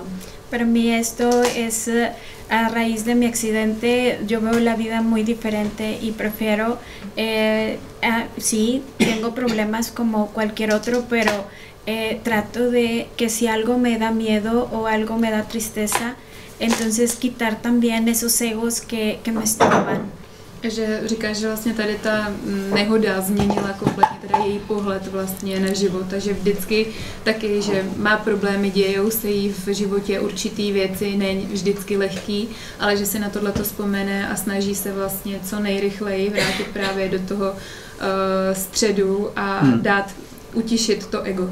Tady bych, děkuju, tady bych rád právě se vrátil k tomu termínu být aspoň neutrální. Ty jsi zmiňoval šamana, který říkal, já jsem neutrální, Neutrální, bytost. tak. Já vlastně nebudu pod nikým pracovat pro nikoho. Protože to je velmi zajímavý postoj, že? My žijeme ve světě, který po nás pořád žádá, abychom nebyli neutrální. Abychom byli někde na něčí straně proti někomu s někým a pořád se to, jako, pořád se to přetahuje a tím vzniká pořád nějaké napětí, že jo? když se tak na, navzájem na sebe koukáme a kdo by koho z čeho obvinil Rozděl a kde panuj. rozděl a panu. A tady několikrát padlo tohleto, být tou neutrální bytostí, zachovávat jakousi neutralitu, jaký být v tom středu, že jo? Jako, e, protože posuzovat věci možná nám ani nepřísluší. Že jo? Člověk má tu mánii posuzovat věci, soudit, ale to by mě zajímalo právě, aby, jestli k tomu můžete něco říct. Verča řekla krásnou věc. A právě řekla krásnou věc v tom, že eh, člověk, když odchází s dobrým pocitem, se, všimněte si, kolik lidí, kteří jsou fakt na vyšší úrovni třeba, tak odejdou s úsměvem na tváři. On, je, on umřel s tělem, on leží a on se směje. To je smíření a to smíření vlastně je druh blaženosti, jak se dostává velmi, velmi zdatně i do těch vyšších světů. Jo? Samozřejmě můžeme někdy tomu pomoci, té zdatnosti ještě ho popostřelit, poposunout. Že? A nejhorší je to vlastně, když, jak říkala Verča, když třeba vidí a ti duchové začínají chodit, a teďka jde o to, jestli jsou to mrtví duchové, je to velmi těžké. Jo? Když chodí mrtví duchové, tak na to musí být člověk velmi dobře vyzbrojen a být připraven. Jo? A, takže šamán třeba má šamanskou práci nechá před dveřmi a tam je hned táta rodiny. Má Mhm. tři děti, jo, a jako uh, otec třech dětí, hezkou ženu, uh, tátu, který mu pomáhá, ale prošel si taky, když říká Verča svůj příběh, tak jako šamán prošel velmi těžkým příběhem a mm, šamanským, šamanskou cestou utrpení. A přitom on byl taky nějaký sportovec, ne? Byl v nějakém olympijském výběru nebo co? řekneme si to, ještě než, když navážu na, na tu blaženost toho vlastně, že eh, ta bytost, když je smířená s těmi pocity, tak vlastně může jít do těch vyšších světů a potom přicházet třeba ku pomoci, jo? Ku pomoci už eh, jako vyšší mistr, který může pomoci ostatním se zvednout tady v této těžkosti, protože je to tady ta hra těžká, jo? hrajeme tu těžkou hru, no ale, ale můžeme si to udělat příjemně i tu hru, jako, a i když je těžká, tak z té těžkosti můžeme eh, prostě to udělat příjemně. Já jsem taky mého tátu, když umřel, a kterého jsem miloval všechno, tak jsem mu říkal, ty jsi ještě chlap, včera si dělal 100 dřepů a dneska už tady nejsi, ale setkáme se a už jsem už byl tuhý a říkal, furt máš ještě svalí, jako, tak jsem si z toho ještě dělal legraci, takový druh jako smutku, ale legraci z lásky, že ho nedržím, jo, nedržím ho. Setkáváme se velmi často s případy, kdy mm, eh, lidé drží ty svoje duše a mají třeba, eh, mají třeba eh, doma obrazy v závislosti svých babiček. Můžeme mít svoji babičku, kterou milujeme, jeden, dva obrazy, ale s láskou. Ne ze závislosti, že máme v každé místnosti 10 obrázků, v druhé místnosti dalších. To jsme se setkali s těmito případy. A, a ještě tam popel z popel, prostě tam někde při sypacích hodinách, když už to řeknu tak obrazně, jako, jo, a další někde v, u květin a další ještě třetí v urně, jo, To a mluví pořád, asi o mně, já to mám všechno doma. ne, nemluvím o tebe, ne, nemluvím o tobě, nemluvím o tobě, Ale ono to má všechno doma. já vím, já vím, ale já vím, Obrazy, proto jsme říkali, urny, proto nesmí, ale můžeme to mít s láskou, kromě uren. Ne, urna nesmí být doma, jo? Nebo, ne. nebo měli jsme tam na půdě, přišli jo, prostě lidé, prostě chtěli poradit s některýma věcma, chtěli poradit na půdě, prostě to je mrtvá energie, jo? Mrtvá energie, pozor na mrtvou energii. Takže uh, pěkně vzít tu urničku a pěkně ji vysypat po větru do vody, Jo, a co s tou urnou dál? No to je problém, protože vyhodit to taky není dobré postavit ji někde na hřbitov, kde je mrtvá energie. Jo? A ona už se tam někde zamíchá. Takže To mi připomíná, že bych vás, že bych vás měl pozvat na festival o smrti, protože ten se koná první víkend v listopadu po, po dušičkách. Jmenuje se to K smrti dobrý festival. Bude, bude v Ostravě. Protože právě, jak se toho tady dotýkáme, tak to téma smrti je právě velmi zajímavé téma. tak to, co z téma smrti jsem rozuměl, to je smrti. Téma smrti. Někomu, někomu téma smrti pěkně smrdí, to máš pravdu, že, jo? že se toho lekne. Ačkoliv to na každého čeká a e, v této chvíli na planetě umírá každé, každé čtyři vteřiny umírá člověk. Zhruba. Jo, takže to je takové téma, kterému se těžko vyhneme. A je to přítomné a právě ten festival o smrti e, umožňuje stejně jako, jak o tom hovoříme, se vyrovnávat lépe s takovou iluzí tíhy, která byla nějakým zvláštním způsobem nalepena na, ten, na smrt, přilepena jakýmsi nějakým sentimentálním prožíváním a určitým chaosem a snahou strašit e, lidi smrtí a tím, co bude po smrti a vytvářet takové jako obavy, strachy, tak teďka to téma je jedno z těch témat, které se zpracovává. Tak kdybyste měli chuť, bude to v té Ostravě. Bude tam i William Poltikovič mít premiéru toho filmu Smrt jako brána. A když budete zapalovat svíčku, tak ji nezapalujte za pokoj duše, ale za zdraví duše, protože v paralelním světě jsou mnohem zdravější než my, bez nemocí a pohody, než to my tady máme problém. My jsme tady na, na mrtvých, nebo jak bych to řekl, na takovém stupni jako eh, mrtvolnosti. Ano, jo? a ty to máš teda všechno doma. Já to mám, já, já to mám doma dobrý. Jo? No. Ale dostala si určité instrukce. Ale tak já si to vždycky přeberu po svém trošku, ale já to tam mám doma a nevadí a dobrý, já u toho píšu knížky a, a, a já myslím, že se to nějak vyvrbí. Eh, mně se nechtělo ten popel těch rodičů, protože oni odešli na jaře strašně rychle a já jsem maminku, vlastně o maminku jsem se starala doma 10 měsíců a táta byl asi 200 metrů v léčebně od nás, takže jsem tam každý den chodila, to bylo náročný. A pak jsem ty urny uh, přivezla domů, ještě teda jsem udělala zádušní mši, ale to byl teda šamanský obřad, to bylo neskutečný, teď doufám, že se nedotknu nějakých křesťanů, ale uh, fakt to bylo krásný, dělal to, dělal to polský kněz, který neuměl česky, pořád vykřikoval uh, profesora, to myslel mě, nevím jako proč, ale do toho, do toho se otevřelo kostelní okno, najednou vítr a krásný zpěv ptáků a světlo, takže to byl taky jako šamanský, mm-hmm. uh, šamanský katolický obřad. A pak jsem si ty urny vzala domů a od té doby tam jsou uh, na knihovně, já jsem tam přinesla uh, maminčiny květiny, o které ona se starala tak, aby nezahynuly tam, kde dřív ona bydlela. No a je nám tam jako dobře, ale já na tom popelu jako nelpím. Jo.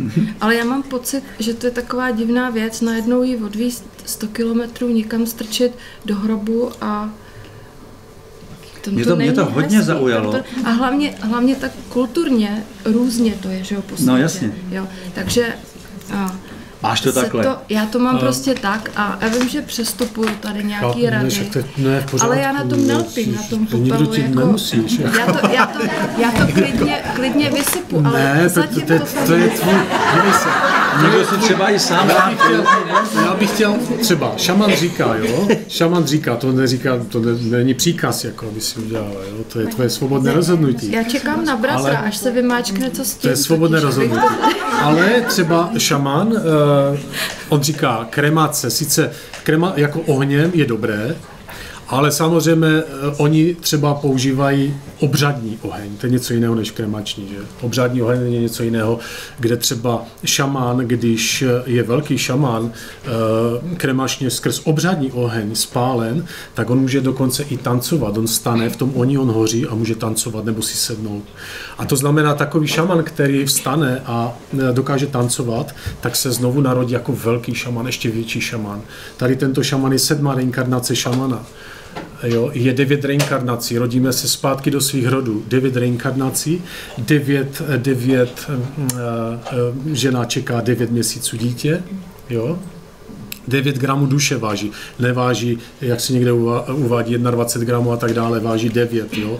Tam jsou různé ještě další, další, eh, tím, jak oni dělají tu váhu, tak jsou tam problémy ještě se stopovými prvky, které se odpařují a tak dále. Ale čistá duše, která odejde, tak má 9 gramů. Jo? Takže všechno jsou to ty devítky, ty posvátné devítky, jo? A e, i samozřejmě vybudovali jsme tady totém, kde chodíme taky devět kruhů, jako kolem totému. A je to nejsilnější záříž na pomoc v Evropě, e, které, kde se energie rozpo, rozprostře během jedna, nebo rozprostřela během 21 dní a je tam vyobrazena nebeská symbolika, je tam našeho světa vyobrazena, pak je tam uh, duchové našich předků, kteří se nacházejí od jedného, od jedného do sedmého nebe, pak je tam Eh, vlastně přeskočené osmička, ale to je osmi hran, tak to znamená, to jsou lékaři z osmého nebe, kdy lékaři eh, v osmém nebi, to, to, to je nebe zvlášť, jsou to velmi zajímaví léčitele, lékaři, když přijdou na rituál, tak nás pozdvihnou eh, do nebeských výšin, když začnou zpívat, tito nebeští lékaři z osmého nebe, je to něco neuvěřitelného, to jsme všichni brečeli, jako to nejde nebrečeli, jako to, to jsou velké síly, když je člověk velmi blízko. Eh, tady tohoto lékaře. A eh, pak jsou, eh, pak jsou od 9. do 12. nebe na tomto totému vyobrazení bohatýři, velmi silní bohatýři a pak je nebeský oheň. A, a kde to je? To je na Šumavě. Mm-hmm. Na Šumavě. Já nebudu říkat adresu, protože by tam. On, ne, on nechtěl adresu, protože tam už těch lidí tak jako dost. Ale kdo tam přijede, kdo si to zjistí, tak jako, protože tam by autobusy jezdili, což bych já uvítal, jo, ale majitel ne, jako, jo, majitel ne, to by nestačil. A kdo tam přijede, tak udělá devět kruhů podle slunce, takhle devět kruhů podle slunce a má přání. Má přání k velkým duchům, protože ten totem je oživen. Při rituále je oživen, takže je to jako mobilní telefon, máme číslo nebeským bohům, jo. A Eh, tito vlastně bohové můžou plnit přání při těch devíti kruzích a potom na, na severozápad, na severozápadní stranu se uklonit třikrát, třikrát se uklonit a pokud člověk odchází, tak odchází po slunci, nesmí nikdy proti slunce. Jo? Odchází po slunci. No a mm, dokonce nám někteří chtěli zničit tento totém, jo, vyrůbat prostě, vytrnuli s kořenem, jo, takový černí mágové a tak dále. Děje se to prostě, děje se to, děje se hodně změn a všechno, se to, všechno bude plavat na povrch, všechno se to bude odkrývat, tady ty věci. No a tyto totémy chceme do budoucna vybudovat eh, ještě druhý na Moravě, jako střed srdce, a na Slovensku jako energetický systém, kde jako je třetí bude totém. Jo? Takže musíme vyhledat nějaký pozemek vhodný se šamanem, který bude střežen, aby nemohl někdo třeba eventuálně, protože oni sami neví, kdyby zničil někdo tento totem, tak já nebudu říkat, co by se stalo. Jo, pro ty dotyčné. Jo, tady. Takže, tak to, ta, takže tyhle tyto A mám tady teďka úplně, se omlouvám, jako mimo běžnou myšlenku, protože před, před začátkem zmínil Radek, že na Sibiři je pyramida vysoká 3900 metrů, což teda nás překvapilo. A on říkal, tím začneme, to já to pustím hned na začátek. Tak můžeme, dívejte můžeme se, se na ní kouknout, když už mluvíme o těch... těch... Není tady, nemáme ji tady. aha, já My musím... nemáme tady na, na to. Ale já vám něco o ní můžu třeba říct, nebo o pyramidách na Sibiři, nebo o stavbách na Sibiři. Eh, dosud eh, prezentovaný vědeckou obci je kámen největší dosud opracovaný, je v Balbeku v Libanonu, který váží 1500 tun. Ale na Sibiři jsou běžně kvádry opracované, které mají 3000 až 7000 tun, jeden blok. A jsou tam pyramidy, které mají kilometr, dvoukilometrové. A tady tam má 3900 a je nejstarší pyramidou vlastně na zemi kouli. Eh, a je to právě v, centr, v centrum Ázie. Jo? A pracují tam, i šamany tam taky pracují u této pyramidy. A tam je i nebeské oko, jak jsem hovořil, jsme hovořili spolu. Nebeské oko je to jezero, takové jezírko, malinké jezírko, jak tady tahle ta malinká plošťat, kdybych to řekl. jo o velikosti, já nevím, 5x4 a je tyrkysově zelená a říká se tomu nebeskou oko z toho důvodu, že nesmí tam nikdo dát ruku, protože to je jako píchnutí do oka, které začne slzet a začne pršet. A dokonce jeden Rus to porušil, nedodržel posvátné, posvátnou, posvátné toto místo a okoupal se v tom jako velký frajer, velké ego. No a oslepl. Že? Prostě nelze porušovat tyto velké, protože ego tihle velcí duchové semelou okamžitě na prach. Máme, eh, já bych řekl, takové tři eh, nebo přítelkyně, partnerka, to říká velmi hezky Silvie, je trouhelník. Na tom trouhelníku, vlastně trouhelník a na trouhelníku je síla, pokud je to zrcadlový svět, máme nebeský svět. Síla, láska, moudrost. Když je to bez moudrosti, tak ta láska nemá žádnou hodnotu, to je jenom o slovech a nemá žádnou sílu. Bez moudrosti nemá žádnou sílu. To jsou jenom slova o lásce. Ale když tam máme moudrost, máme tam lásku, tak dokážeme vytvořit sílu. Dokážeme vytvořit sílu. A zrcadlový svět je, síla je taky sice, ego a vychytralost. Mm-hmm. Jo? A teďka to ego musíme něčím sítit, aby jsme měli sílu. A vždycky krademe někde ty energie. Politici potřebují, že, hlasovací lístky a tak dále. Všichni potřebují nějakým způsobem na základě ega, jo, krást ty energie. Jo. A e, ego je v pořádku, ale je potřebuje, potřebuje mít zasazené místo ne jako dominantní, ale jako takový kontrolor, který hlídá, který, který je kontrolován pod vyšším vědomím. A vyšší vědomí je ta moudrost, tou láskou a vytváří tu sílu. Potom je možné zvládnout velmi dobře ego.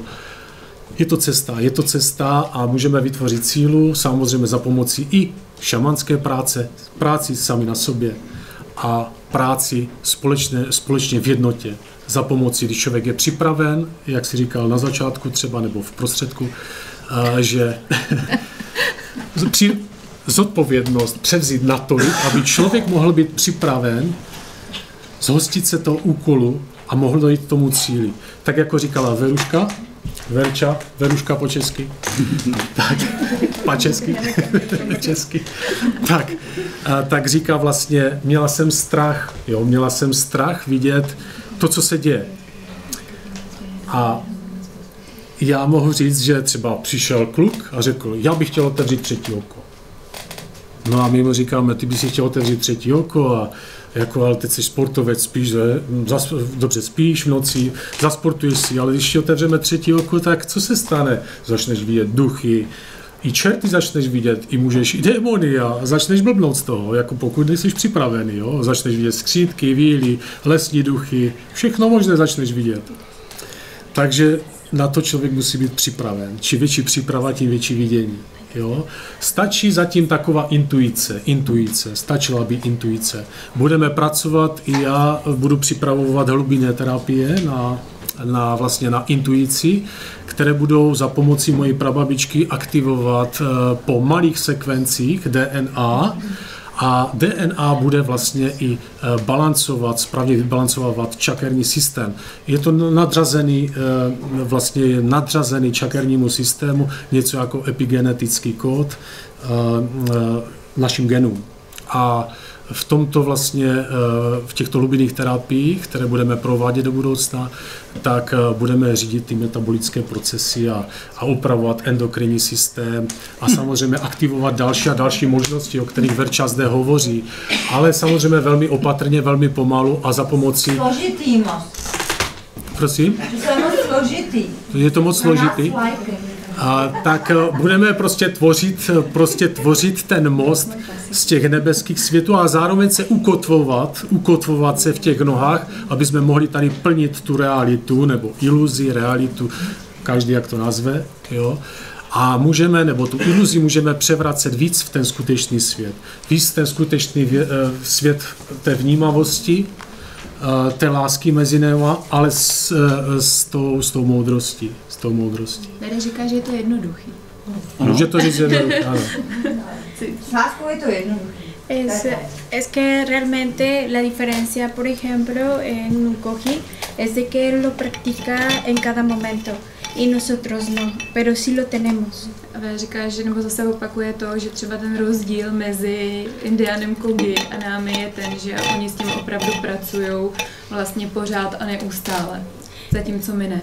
Yo, por ejemplo, les enseño eh, algo que pues obviamente a mí no me enseñaron cuando era pequeña y me daba miedo. A Vera Ale říká, indiánové kogy nepoužívají mobilní telefony a nežijou v takové realitě jako my.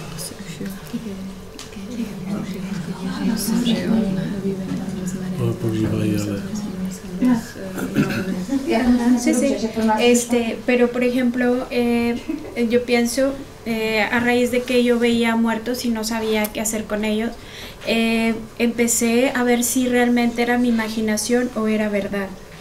A říká, um, uh, že vlastně mm, teď já ještě jsem, to, to, že mě to přerušilo před tím, co jsem měla v hlavě, že uh, říkala, že vlastně teď se začíná pracovat s tím, nebo učí dál, předává vlastně ty znalosti, uh, který vlastně jí nikdo neřekl, co by měla dělat, když byla malá a vlastně viděla kolem sebe ty věci. A, um, a teď um, říkala, že... Lo, puedes, repetir otra vez ahora Sí. Este, y que cuando estuve, eh, cuando empecé a ver muertos no sabía cómo trabajarlo, pero después empecé a, a ver si era mi imaginación o era real. A že když začala ty věci potom vidět, tak si to začala sama ověřovat, jestli uh, vidí uh, opravdu, nebo jestli to je nějaká její představa. Y la casualidad era de que a veces no conocía a las personas, pero podía describir cómo eran, eh, y no físicamente, sino cómo se comportaban en la vida normal. A že ji začalo přesvědčovat to, že ve chvíli, kdy byla schopna vidět nějaký tady ty věci uh, kolem sebe nebo ty duše, tak vždycky na nich bylo něco jako typický, uh, byť je vůbec neznala a nikdy se jednalo o nikoho, mm, o kom vůbec nevěděla, krom jména kdo, kdo to je. Mhm. tak eh, že to se tam objevovaly typické znaky pro tu osobu právě v tom jeho eh, životě. Y entonces eh, vi que había características en esas personas que eran real. A že tam byly charakteristiky, které opravdu byly eh, skutečné, což potvrzovalo to, že to nemohla vědět a že vidí nebo je komunikuje vlastně s duší, která eh, opravdu žila. Yo sigo siendo escéptica y la verdad es de que yo me pongo a prueba muchas veces. A říká, že pořád je skeptická tady k těm věcem a vždycky se snaží si eh, to nějakým způsobem jako ověřit nebo přesvědčit vlastně ten svůj rozum, že máme tady tu schopnost eh, komunikovat nebo vědět určitý informace. Y como eso ya es más fácil para mí, entonces yo también lo enseño, porque hay veces que las personas, sobre todo los niños, ven esto y se asustan y no saben cómo manejarlo. A že um, vidí, že stále víc lidí přichází s tím, že mají podobné schopnosti a kapacity a především děti, které dokážou vidět stejné věci nebo vnímat, přicházejí jim informace, někdo to slyší, někdo to vidí, ale nevědí vlastně, jakým způsobem uh, s tím pracovat. A proto právě Vere říká, že vlastně na té své cestě začala i v rámci těch kurzů učit i rodiče třeba, jak uh, k tomu přistoupit nebo jak dítěti pomoct, nebo když sami byli děti, to sami viděli, tak uh, jak s tím pracovat. Y a veces la más asombrada soy yo, porque sí, no conozco a la persona, pero a veces la estoy describiendo tan real que la persona que me preguntó eh, me dice si así era eh, mi papá o mi hermana que falleció. Že někdy opravdu i ona sama je překvapená, jaký informace jí dokážou přijít, ať už to je o té duši nebo o čemkoliv jiným a opravdu vždycky tam je nějaký reálný základ, který potvrdí to, že to není výplod její fantazie, ale opravdu jsme schopní takto komunikovat. No me gusta mucho trabajar con esto porque yo me enfoco más a los niños y esa, esa intuición yo la uso para saber cómo está el niño y si está batallando por algo, eh, yo poder ayudarle mejor. Říká, že eh, v té své praxi se tolik nevěnuje jako komunikaci právě s těma dušema, nebo takže spíš to používá právě, eh, jak jsem mluvil o té intuici, takže tady ty informace se snaží vlastně s nima pracovat třeba ve chvíli, kdy přijde na kurz dítě, který má nějaké, nějaký problém a nevíme, co to dítě blokuje nebo co mu to způsobuje. Takže tady vlastně ona používá tu schopnost, kdy se ptá eh, nebo snaží se získat informace, co je to, co dítě blokuje a co mu může pomoct, jakým způsobem třeba nějakou tu emocionální zátěž rozpustit. A veces me piden que lleve a la luz algún, algún familiar. La verdad es que ahorita ya tengo una fila grande que no he podido, pero cuando me pongo a trabajar con ellos, eh, me doy cuenta que a veces eh, eh, cuando se fueron, se fueron con apegos, se fueron con tristezas, se fueron con ideas y creencias que no les ayudan a irse. Ale čím dál tím víc lidí vlastně za ní přichází s tím, že by chtěli nějakým způsobem pomoct s těma dušema nebo někoho mají, kdo jim zemřel.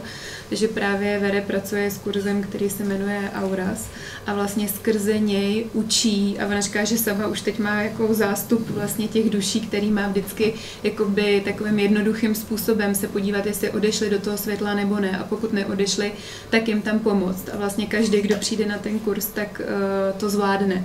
A dokáže vlastně s tou duší um, dokáže s tou duší komunikovat a právě si tam ověřit tady ty věci, že, že to funguje a to napojení na tu intuici není tak uh, složitý, uh, jak se možná na první pohled zdá.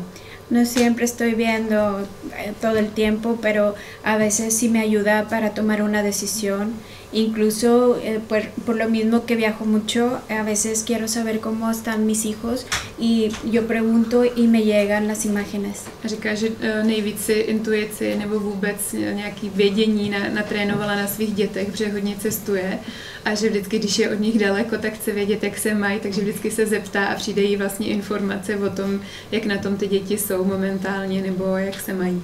Y, y, realmente es que no es nada extraordinario lo que hago, simplemente eh, todos estamos conectados, entonces todos podemos saber la información de otra persona. Chce říct, že ona nemá žádnou nadpřirozenou schopnost, prostě toto máme všichni, tu schopnost se napojit a vědět informace nebo získat informace, které nás můžou někam dovést.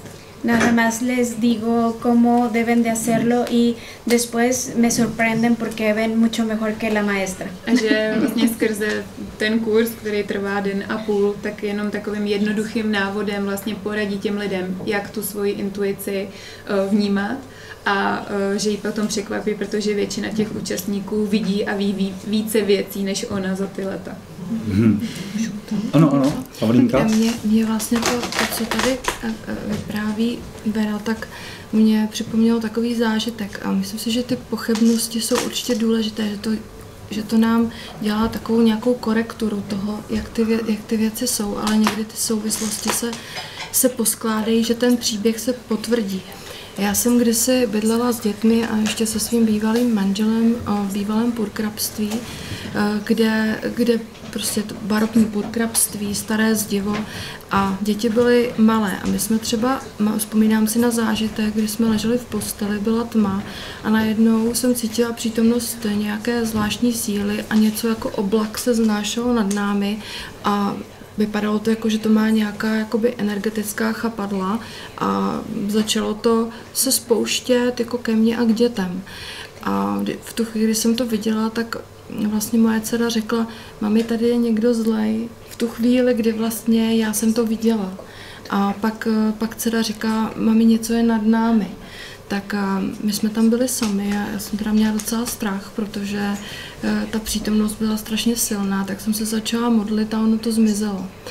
A po čase jsme s přáteli zvali taky sem šamany ze Sibiře, tu vinské šamany a bydlela u nás šamanka a když vkročila do toho bytu, tak říkala, že tam je někdo zlý, že tam někdo chodí zlý a že je potřeba, potřeba toho ducha vyhnat.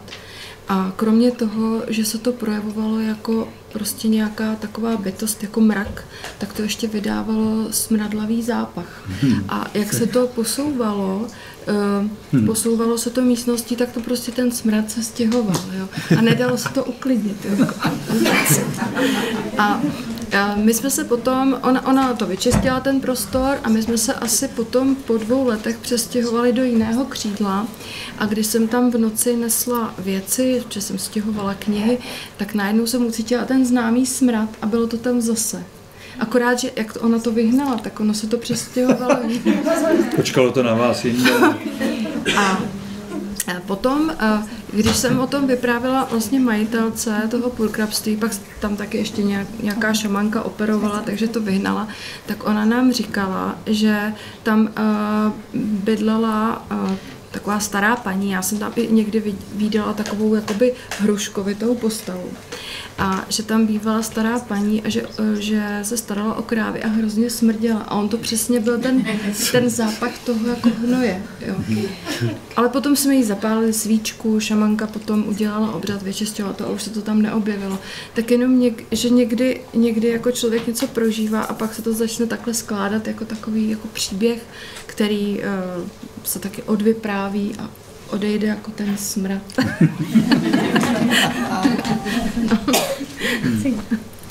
Máte někdo něco? Kdyby v někom něco se vynořovalo? Tam někde se hlásí, tam vzadu se hlásí někdo. Vzadu někdo? Vzadu. Během tvého zajímavého vyprávění se asi třikrát nebo čtyřikrát zmínil celkem negativně ayahuasku. Tak se chtěl zeptat, jaký si máš osobní zkušenosti. No, dobrý zkušenosti.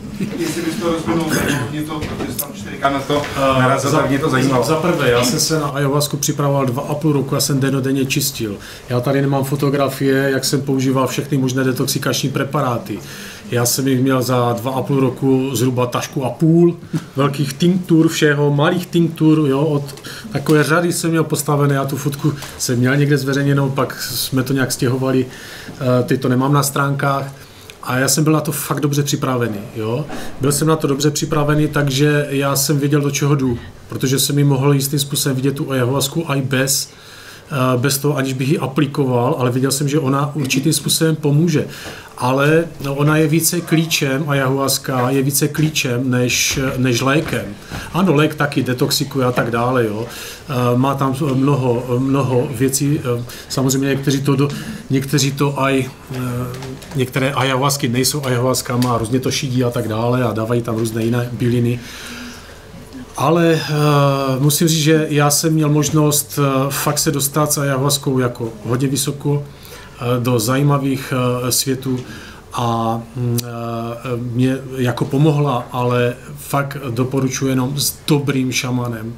A dobrých šamanů už v Jižní Americe fakt je pramálo, proto nemohu nějak doporučit. Nikoho, byl jsem u kmene šipibů, jo, což i šipibové jsou skvělí šamani, ale už i mezi něma už eh, je ta civilizace a už eh, postupuje a ničí, prostě ničí, uh, ničí to šamanství, což mě mrzí. Proto ale zase je dobré z druhé strany, že se spojuje to šamanství a že oni se posílí vzájemně. A jsou to třeba ti kogiové do budoucna, a mm, i sibirský šamán ví a vidí prostě, co se děje s ayahuaskou a e, doporučuji ti to video, proto by bylo teďka na dlouho, kdybych eh, měl popisovat ayahuasku, byl by to monolog dlouhý. Takže opatrně, v České republice to nedoporučuji opravdu ne, nikomu ne, protože jsou z toho vážné mm, případy. Mě volají lidi, kteří z psychiatrie používali ayahuasku a jsou, eh, nedokážou dneska být bez antidepresiv. Jo? A snaží se se mnou radit a tak dále. Dá se to, dá se to dostat z těla, ty toxiny. Tam je problém, že vlastně byly otevřené ty brány v té hematoencefalické bariéře. To má tři takové bariéry a nalepí se to v mozku a začne, n- v mozku se nalepejí ty toxiny, které otevře ta ayahuasca, jo? která vlastně není na závadu, ale otevře těm toxinům. Proto ta příprava dokonce musí se držet fakt striktní dieta. Dieta, aby nebyly toxiny v těle. Takže eh, s tím se velmi opatrně, dokonce tady eh, někdo ze zvědavosti jenom chce a bez přípravy a chce si tady vypít a vyzkoušet si ze zvědavosti, co to je a pak to s ním šláhne a dělá to s ním různé věci. A otevřou se brány do těžkých světů, se můžou otevřít. Jo? Jsi Takže, zmínila nějaké video. Uh, video, video o ayahuasce mám natočené na svém, na svém kanálu Radek Wolf, dvojí TV, uh, ayahuasca, asistence vědomí a její zkušenost, tam o tom uh, hovořím. Takže nejenom tohle video, mám tam o rodových rituálech, o slabosti rodu, prosím vás, nebo o síle rodu, nebo kde se ztrácí naše síla. Uh, Veruška řekla jednu takovou dobrou věc, ale zároveň eh, eh, řeknu tomu takový určitý limit. Jo? Eh, Řekla, eh, že všichni můžeme být jistým způsobem šamani, ale jen do určité roviny.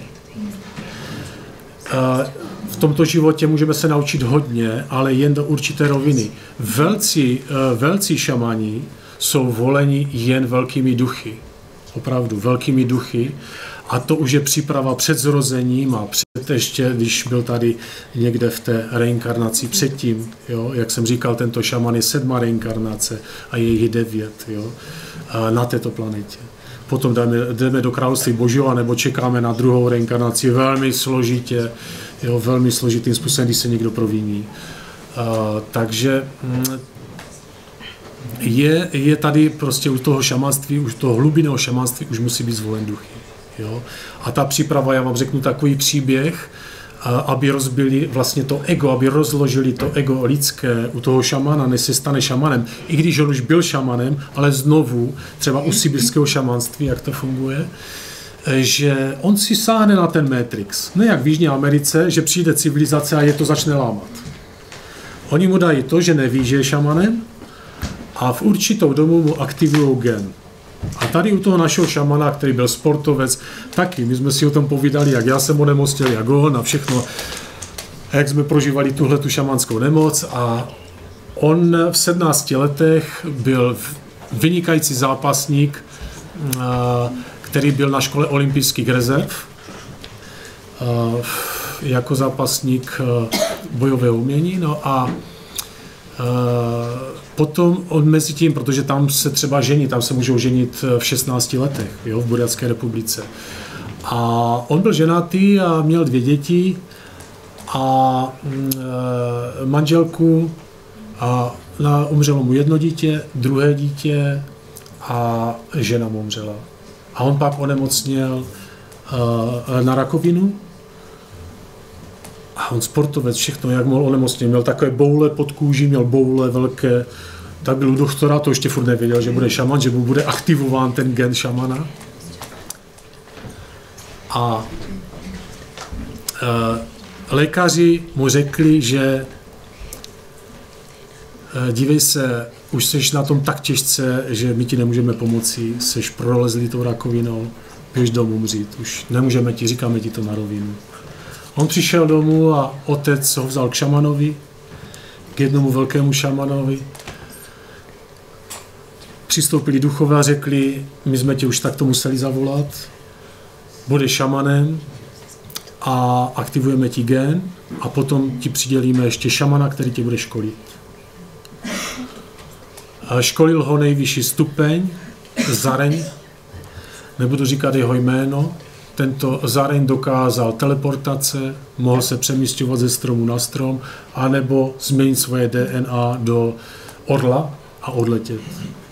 Ale potřeboval k tomu určité, v lese potřeboval určité místo, které zesilovaly tyto psychické funkce. Takže z tohoto místa byly tam určité atributy a z tohoto místa se mohl teleportovat nebo prostě si hrát nějak s tou realitou.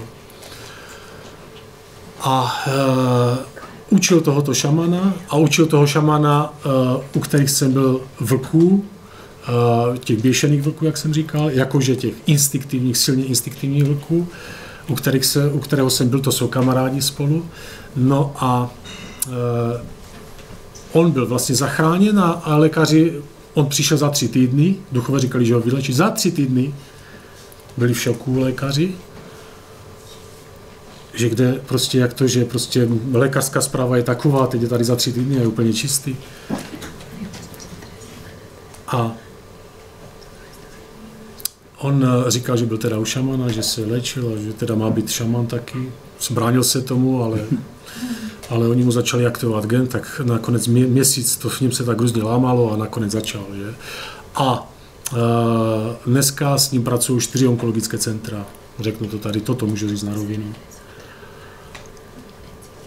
A e, je to zvláštní, že e,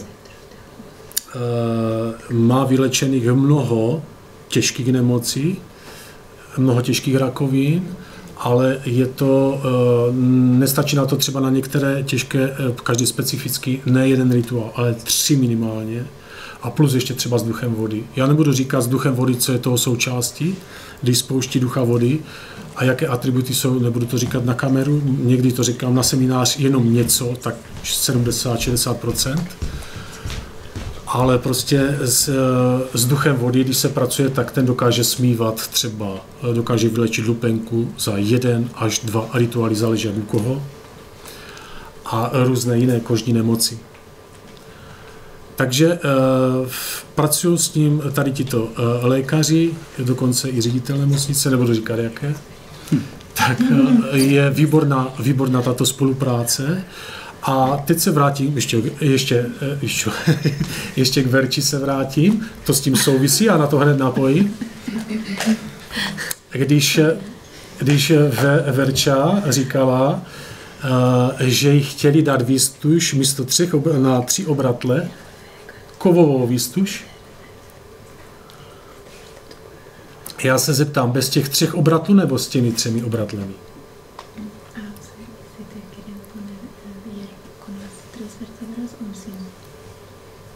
Sí, o sea, me querían poner dos cerchas y ocho tornillos. Nějaký, nějaký dvě, A výstuže a do toho. Vynikající, vynikající, protože já vám řeknu, to je dobrý postup lékaře. Jo, když udělá tuhle tu vnitřní, ale musí tu výstuž udělat, když spevňuje jenom tyhle tři obratle. Ne, že třeba udělá výstuž, že zebere tři obratle nebo čtyři a udělá kovovou výstuž. A je tam velké přerušení. To A místo těch taky? obratlů je kov. Jo? A to se dělá. Taky se to dělá. A místo těch obratlů je kov a potom ten kov třeba, protože tento šaman eh, má metaličeský gen, což znamená kovový gen, a on dokáže oživit, kdo má přerušenou míchu, tak dokáže oži, oživit, eh, když je tam kov, ale centimetr a půl, tak ho oživí, aby vznikl ten přenos na nervový systém a ten člověk mohl chodit. Jo? Ale není to taky jednoduché. Ale jak už je tam třeba 7 cm, to už nedokáže ten šaman. Tam už třeba, tam už to chybí. Jo? A s tím jsme se taky setkali, byl jsem toho svědek na nejlepších klinikách eh, v Německu, v Německu, kdy byl operován dotyčný a oni se snažili mu zachránit život, ale nepřemýšleli nad tím, aby mohl chodit. A šaman mu ukázal, šaman mu ukázal na, eh, na, vlastně, na, na Sibiři v nemocnicích a v Rusku, jakým způsobem třeba šest obratlů bylo úplně prostě rozházený jak kostky. Oni to pospojovali lékaři, udělali vevnitř výstuž správně. Ten člověk musí tři měsíce ležet. Tři měsíce musí ležet a potom pomaličku rehabilitovat. Pomalinku rehabilitovat, potom se to sundá a nosí se ještě korzet, správně korzet a pomaličku musí rehabilitovat. A ten člověk, ne, ne jeden, ale takových případů je několik, které šaman zná a které potom ještě šaman oživoval při rituálech a ten člověk chodí. Nefunguje na 100%, ale těch 80-85, což je skvělý výsledek, když šest obratlů bylo vyhozených úplně bokem jako kostky. Jo. Takže to jsou, eh, to jsou věci, eh, to jsou věci, které, které existují. No a e, není to jednoduchá práce. Jo? Tady tyto rituály jsou velmi těžké, protože e, i když jsme viděli, a i Pavlínka viděla, když dokáže spustit ducha do svého těla, tak se nachází v klinické smrti. Jeho srdce e, má 3 až 5 úderů za minutu. Jeho vnitřní teplota klesne mezi 5 až 15 stupní Celsia a srdce je obrovské, protože říká se tomu syndrom býčího srdce, aby přečerpa, přečerpalo mezi třemi až pěti údery velké množství krve, ale stejně to nejde všude, tak jde to jenom v hrudi a v hlavě, aby se zasoboval mozek.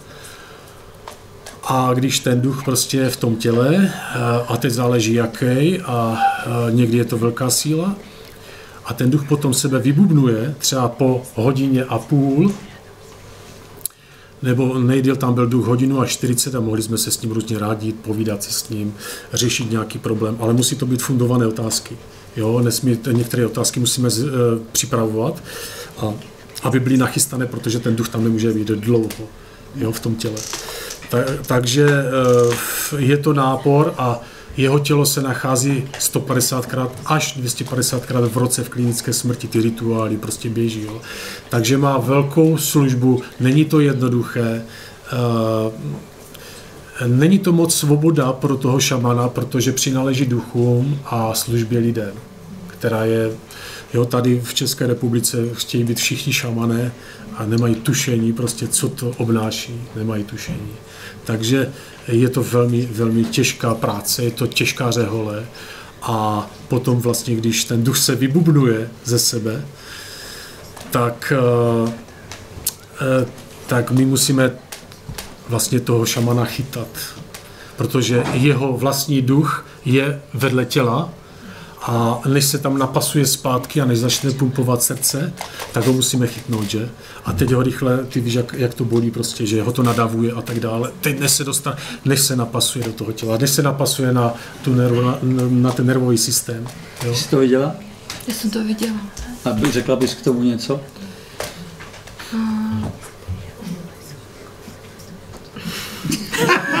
Ale nemusíš, Ne, to jenom... Já se snažím hledat slova, protože já jsem uh, se dlouho zabývala šamanismem a opravdu nic takového jsem nikdy neviděla. Vlastně uh, před, před očima najednou se ten člověk uh, změní uh, najednou v někoho jiného, uh, změní hlas, uh, tam třeba najednou Jardením, kolik mu je let? 32. 32, najednou tam prostě sedí stařec, šoupe nohama, bouchá, prostě prská, krká, chce, eh, oni ho hostí vlastně eh, nějakým samohonem nebo Eh, vodkou. Oni hostí, Eh, Je, te, Je ta, to vlast- Používá se, pardon, já ti do toho No. vstoupím jenom v rychlosti. Ta vodka se používá jako spirit, spiritus a on přeprogramoval tu molekulární strukturu a je to síla, která udržuje v těle. Ona udržuje v těle, jo. Takže i tabák ho přizemňuje toho ducha, aby se udržel v tom těle. A jsou tam, pardon. Tam, Takže, tam vlastně uh, pro mě bylo překvapivé, že uh, hostí ho dlouho a on vypije hodně toho a prostě když ten jardení se vrátí do těla, tak Je naprosto není opilý, jako, jo? je To, to vlastně, tohle, tohle mě jako fascinovalo, že, že hostí, tam byl, zrovna to byl dědeček, můžu říct jméno nebo ne, radši ne, a dědička koho? Dondok, Můžeš říct. Dondok přišel z mongolské pouště, vtělil se do Jerdeniho a e, prostě e, mluvil jiným hlasem. Je to teda trošičku připomínalo, jak jsou takové ty zpěvy e, třeba tuvinců, hrdelní, jak třeba jezdí skupina Hunhurtu. Nějaká takováhle jakoby práce s hlasem by to mohlo připomínat. Nicméně hlas jiný, e, zdá se, nebo je pocit z toho, jako že někdo promlouvá ze zašlých časů. Jo? Není, to, není, není to pocit, jako že to je teď v přítomnosti, ale vlastně i ta dikce, všecko to je tak jako opravdu z dávných časů a strašně mě to připomínalo chvíle, které jsem zažívala, když jsem jezdila za evenky a sedávala jsem v těch jejich stanech a ty staří lidé vyprávěli příběhy a všechny ty pohyby, mm-hmm. najednou to tam bylo. Takže mě z toho šel mráz po zádech, protože to byla výjimečná chvíle. To prostě najednou člověk byl vytažený z té přítomnosti a teďka třeba zažíval různé emoce, třeba strach, že jo, někdo se bál, protože ten, ten duch eh, třeba i verbálně někoho napadl kvůli něčemu, ne, ne, co ne, udělal pa, pardon, špatně. ne, napadl, to není správné slovo. eh, Na, napomenul. Napomenul, Napomenul. Vlastně napomenul, eh, v tu chvíli vyjevil, že ten přítomný udělal něco špatného a najednou on to pojmenoval. Jo, takže eh, tam, tam, tam věci šly do hloubky. To, co se říkalo, eh, žádné slovo nebylo marné. n- Navíc, jo, všecko to bylo cílené a, a vlastně maximálně účinné a proto ty otázky musely být připravené, protože se tam nesměly řešit žádné hlouposti. Všecko Tak, tak. a, musím- a v životě to tak je, když pravda se dá pojmenovat velice krátce, jedním slovem, takže všechno úsporné, ale o to vlastně daleko jako s, velmi silné. No. Je to okamžité, je to právě ta náprava, jo? aby ten člověk se napravil v něčem, tak on to musí říkat ten duch uh, sledově, rychle, aby, aby toho stil co nejvíc. A my musíme taky dávat otázky, jako co nejrychleji, otázky, které musíme mít připraveny pro nebeské bohy a duchy. No a e, když říkáš, že to je zvláštní v tom těle, když je ten duch, tak jsou různé, e, e, ty hlas, když používá ty hlasivky, tak e, moje prababička ten Belik, tak to no, měla takový jemnouký hlolásek, je- jemná, jemná žena. A to bylo po linii mojí mámy. No a po linii, já teď nechci opravdu, aby to znělo z důvodu ega, to, co řeknu teďka, ale po linii otce z, můj pra, praotec je eh, velitel eh, blanických rytířů, Alex se jmenuje. Přišel čtyřikrát, dostal jsem aj taky za uši trochu. Jo. Dostal, dostal jsem za uši v tom trošku, že některé věci, které jsem řešil, jsem byl příliš jemný a citlivý a měl jsem tam být ráznější, ale dostal jsem napomenutí. A samozřejmě pokud bych dělal ty věci špatně dál a e, prohlubovaly se ty věci, které bych nedělal dobře, tak e, mají právo mě i odebrat, ale to ne proto, že by byli zlí, ale proto, abych se nepropadl do temnoty, nebo do temné magie, nebo do něčeho takového. Takže je přísný metr, to není žádná, jako takhle probudit předky už, to už není jenom taková legrace, to už je fakt zodpovědná věc. A já, když jsem udělal dvě chyby, tak Alex se přimlouval u eh, bohatýrů z východu a ti eh, samozřejmě vyšli samozřejmě vstříc, ale taky s určitým napomenutím, protože oni probudili naše blanické rytíře. A eh, blaniští rytíři potřebují ještě dva rituály.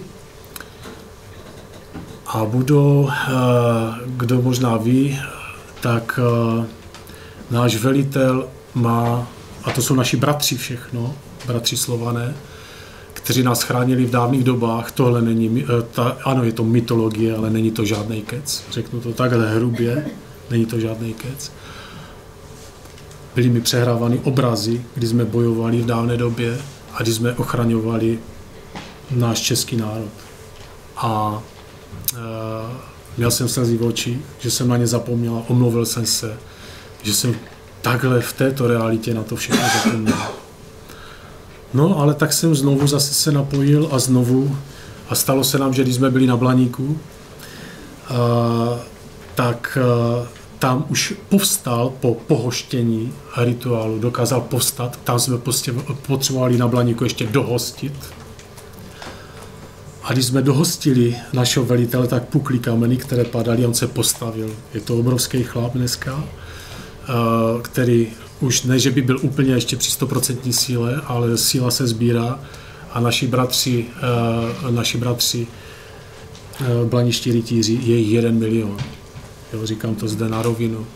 A když, budete, když nám budete pomáhat do budoucna a budete prosit český národ, slovenský národ, protože na Slovensku chceme eh, taktéž do budoucna probudit syntiánské rytíře a že by se to dalo všechno pospojovat. Záleží to na nás, na lidech, jak, eh, jak budeme nápomocní, jak budeme moci do budoucna provést tyto rituály a můžeme probudit i našeho Radegasta, i další slovanské bohy, který spí, pro, prosím vás, Radegast není žádný ze zvířecí hlavou. Jo? Je to člověk, který byl, u- který byl úžasná bytost v dávné době a měl obrovské nebeské síly při sobě. Žádné magické přizemní, nějaké černá magie nebo něco, ale nebeské síly. Ale tyhle nebeské síly nás odtrhly, inkvizice nás odtrhla ve 12. století od těchto sil postupně a byly upalovány vědmy i šamané, byli ničeni, likvidováni a po o 200 let, protože lidé měli strach, proto se nebojte se ničeho, nebojte se vůbec ničeho, tohle to je hra všechno. To se nebojíme. Tak, správně, žádné strachy. A můžeme společnou jednotou a spojením do budoucna dokázat mnohé a překonat. Oni, Dokážeme. oni vytlučou všechny tyto zbraňové systémy, tyhle ty hybridní války, které jsou vnitřní. Poprvé jsem už o nich mluvil v 93, v 93. roce a před deseti lety eh, jsem o nich mluvil velmi intenzivně, jak budou probíhat, jaké budou vrstvené tyto války, a i ve videích ještě, než to přišlo, tak jsem o tom hovořil, tyto vrstvené války, oni se dají překonat, oni se dají překonat, takže nebojte se ničeho. Dají se překonat a hlavu zuru a můžeme se spojit v té síle, té lásce moudrosti. Jo? Můžeme udělat tu trojici té síly a nadále to stále rozrůstat a otevírat se těm nebesům, zesilovat. A můžeme to přání uskutečnit. Takováhle jsou slova těsně před koncem, protože zvonky už označili tři čtvrtě na deset, blíží se desátá. Je to samozřejmě eh, všechny věci, které probíhají, které, které jsou ve vzduchu a jsou vyřčeny, je dobré ve velkém klidu vnitřním proskoumávat a prohmatávat nějakým vnitřním svým smyslem, dřív než eh, provede nějaké ten takzvaný rozum, než provede nějaká příkrá hodnocení, nebo rychlá, myslím, hodnocení. Bystrá. Je to mnoho otázek, ve kterých se ocitáme. Vzdálili jsme se hodně od své skutečné podstaty. Vytvořili jsme svět, který nás zaujal na dlouhou dobu svými možnostmi a hračkami a technologiemi. A možná je ta doba prostě toho určitého návratu. Tak, jak byly zmiňovány děti, které přicházejí s úžasnými schopnostmi a vlastně mm, ty schopnosti jsou jim spíš odebr, odebírány, než že by byly rozvíjeny. Tak eh, tam si myslím, že se to téma dá pochopit eh, jaksi bez nějaké složitosti, že se dá pochopit jednoduše. Co to je, že přichází ta čerstvá bytost a má otevřené schopnosti, mohoucnost, velký potenciál, otevřené vědomí a my mnohdy místo toho, abychom rozvíjeli tuto mohoucnost, řekněme nekonečný potenciál, tak vlastně to osekáváme, zařazujeme do předem připravených už hotových nějakých civilizačních struktur a vlastně e, jakoby zmrzačíme toho tvora, toho úžasného, který vlastně v nás přichází znovu a znovu s určitou nadšením a vytrvalostí učit a přichází znovu a znovu připomínat, co to je ten život jako takový na planetě. Té hluboké podstatě. Tak to si myslím, že je pro mě ten, ta hlavní zpráva eh, z tohohle toho, z tohohle toho večera, protože ten intelekt je takový splašený kůň a pořád chce něco komentovat nebo chytat. chytat. A spousta slov je vyřčena samozřejmě a mohou, mohou vyznívat tak nebo onak.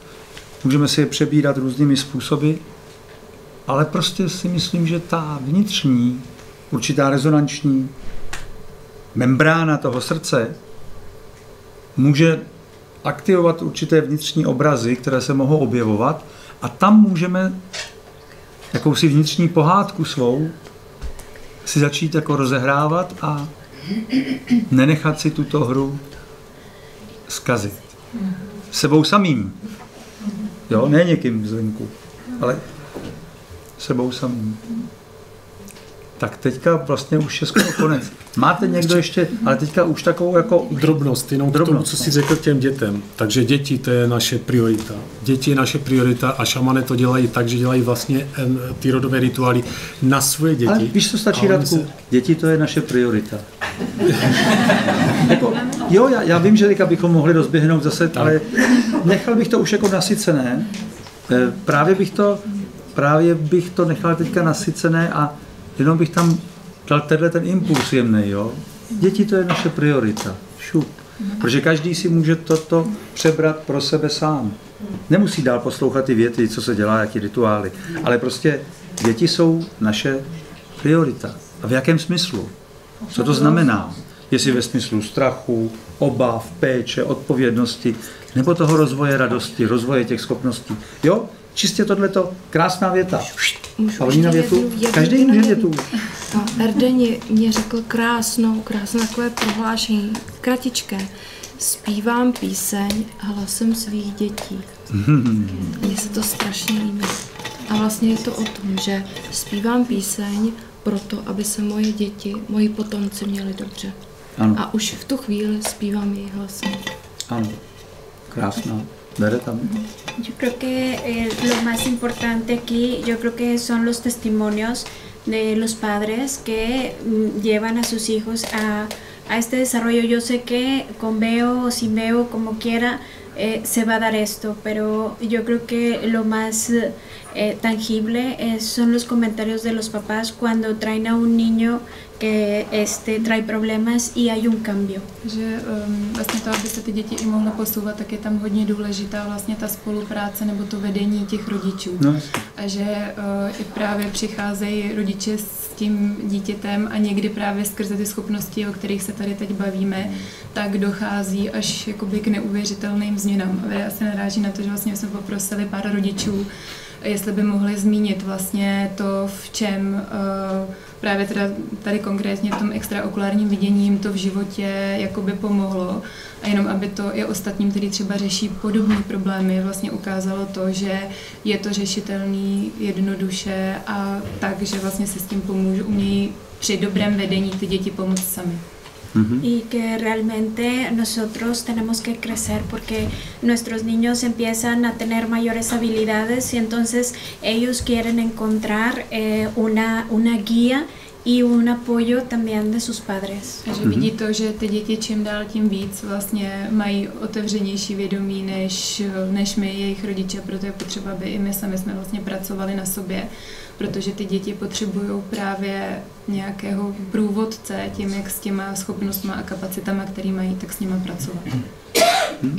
Hopla. Mohli jsme to pustit. Chcete pustit ty rodiče? bychom A tak jo, tak se nakonec Jako na koukneme na ty závěr. rodiče. Na rodiče dětí, kteří nám řeknou, co to pro ně a pro ty děti znamenalo. A mně se to docela líbí jako takový jako závěrečný eh, akord. Co říkáte? Pustíme? Pojďte. Tak možná potemněte trošku tady na nás světla. Aby bylo lépe vidět na plátno. Jako maminka syna s ADHD můžu kurzy extraokulárního vidění jenom doporučit. Syn si v průběhu kurzu zvědomil a tak nějak zvnitřnil to, že je úplně v pořádku tak, jak je. A mimo jiné kurz přinesl posílení jeho víry ve vlastní schopnosti. To, že eh, dokáže cokoliv, pro co se sám rozhodne. A už dneska je to vidět na konkrétních činech, že je mnohem více cílevědomý a fakt si jde za svými sny. Z mého pohledu to, že dítě projde kurzem, neznamená, že se stane zázrak a jeho dysfunkce zmizí a dítě bude takzvaně normální. Ale to, že se naučí se svojí výbavou mnohem lépe pracovat. A třeba zjistí, že ty jeho takzvané dysfunkce můžou být vlastně jeho výhodou nebo silnou stránkou. A bezva je, že to zjistí už jako dítě a ne jako třeba já až v dospělosti. Proč jsem vstoupila do kurzu EOE?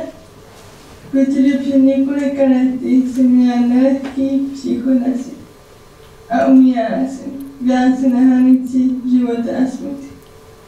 A celý život mi maminka vede cestou uzdravování se. Protože mým velkým snem je se- se uzdravit, běhat, chodit a být fyzicky zdravá. Nasobila jsem proto do kurzu EOL, který maminka před několika měsíci našla a chtěla jsem tohoto dosáhnout. A dosáhla jsem toho, toho že mám vnitřní stabilitu a rovno- rovnováhu, máme krásný vztah s maminkou, více komunikuji s lidmi, je mi lépe rozumět, zlepšuje se mi zrak a na poslední řadě eh, mám napojení na Boha a dokážu s ním i komunikovat. Přišli jsme na kurz eh, s očekáváním, že se nám líbí myšlenka, že Verunka bude schopná eh, číst eh, se zakrytýma očima. A nakonec eh, jsme získali výrazně něco jiného a lepšího.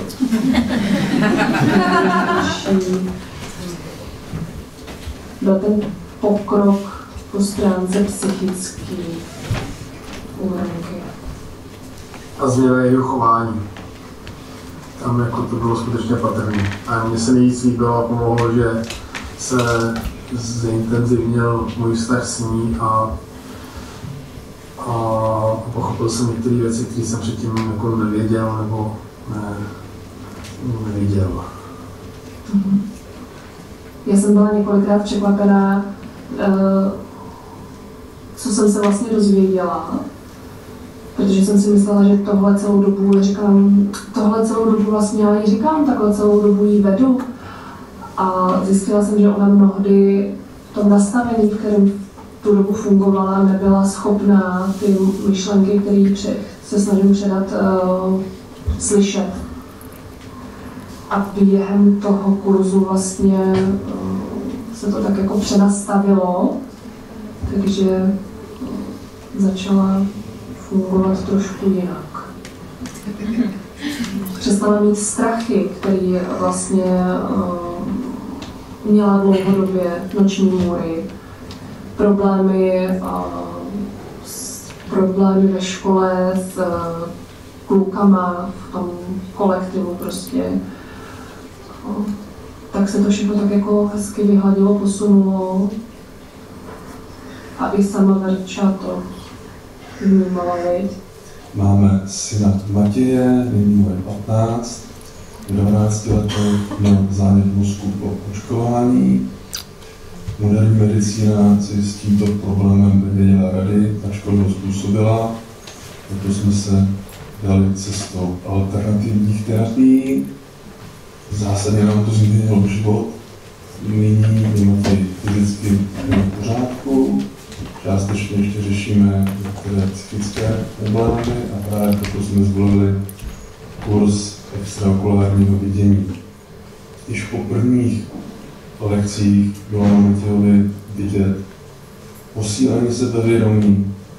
Začal se ptát, sebevědomě vystupovat, začal úplně jinak fungovat v kolektivu, jak svých vrstevníků, tak dospělých Zlepšily se nám určitě vztahy v rodině, když ty byly výborné předtím, ale právě potom především je tato terapie. Ale co bylo nejdůležitější, co bylo největší přínos pro nás?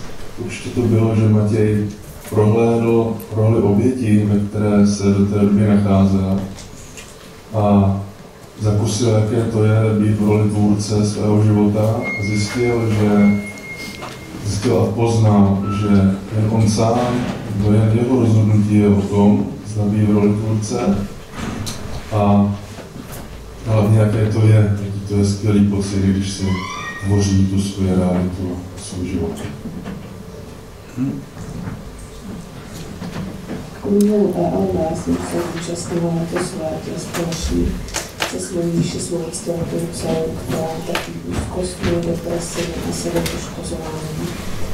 Tato metoda mě zaujala z toho důvodu, že jako rodič dostanete konkrétní doporučení, jak se v daných situacích chovat, jaký zaujmout postoj, co naopak třeba neříkat vůbec.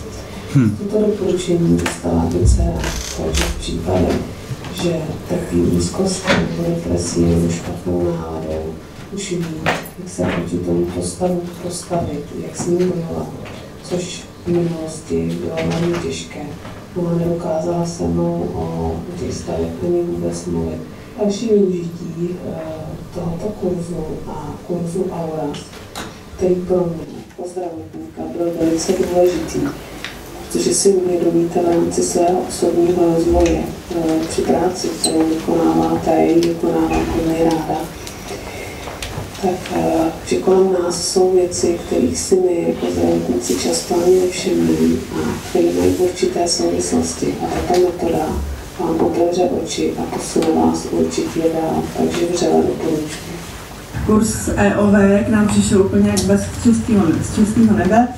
Bylo to znamení a určitě můžu říct, že Anička umí poslouchat svoji intuici a to, že uvidí poslepu, to mě ani nenapadlo, ale, ale dává to trénujeme a hm, už od té doby vím a jsem si jistá, že tuhle schopnost má asi úplně každý na světě, jenom uh, je potřeba věřit a věřit asi nejvíc svému vlastnímu srdci. Takže za nás bych to shrnula jako, že spát. Jako to vidění je skvělý, to je to, to, to je bez no, super. Ale na rozdíl od toho, slyšeli, vidění, nás ty benefity vidím v něčem jiným, jako než v uvozovkách pouze v tom vidění. Jo. Pro ty, kdo o tom jakoby uvažují, jako, že byste eh, do toho ty dětské dali, tak neváhejte a běžte do toho. Já si myslím, že tam vlastně vůbec není co ztratit, naopak, tam můžete jenom Tam získat. jenom získat, no. Jako tam jde jenom o to si to prostě uvědomit, přiznat si to spíš. On vám stejně nic jiného Tak se náleží v těch věcách. no. Jako máme, máme před sebou pořád dost práce, ale myslím si, že Že jsme na správné cestě. tak. No, bude bývá.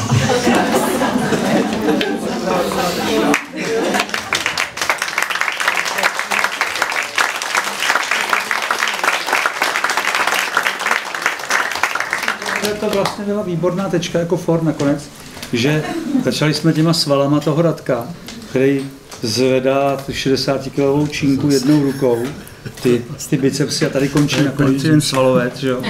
Sedí chlapek s těma svalama, stejně, dopřejte si to, stejně se tomu nevyhnete, protože tak se mi to líbí, jo, že, že to promluvil, že promluvil i na konci ten svalouš. že se to, že se to takový nečekal. Já, já to nevěděl, že jo, co tam bude, až to bude končit tím chlapíkem. Ohromně mě to potěšilo. A, a vrátil jsem to schválně ještě znova k tomu Radkovi, jo, protože ono si můžete říkat, tak tady chlapík něco povídá. A tak se na to koukněte, jak zvedá 60 kilovou činku jednou rukou nahoru a dolů. Aby si člověk uvědomil, že jako jedna věc je, že se něco mluví a druhá věc je, že se taky něco opravdu jako děje. A to zase, když se tohle děje, tak to úplně není jen tak. To, to, tak jenom si tak jako všechno poskládat v klidu, uvědomit si. Děkuji všem, že jste přišli, děkuji tady hostům všem, že se dostavili, divákům, kteří se koukají, vám, kteří jste tady v sále a děkuji za to, že takhle můžeme dělat takováhle setkání, kdy se mohou postupně odehrávat věci, které jsou velice inspirativní. Děkuju.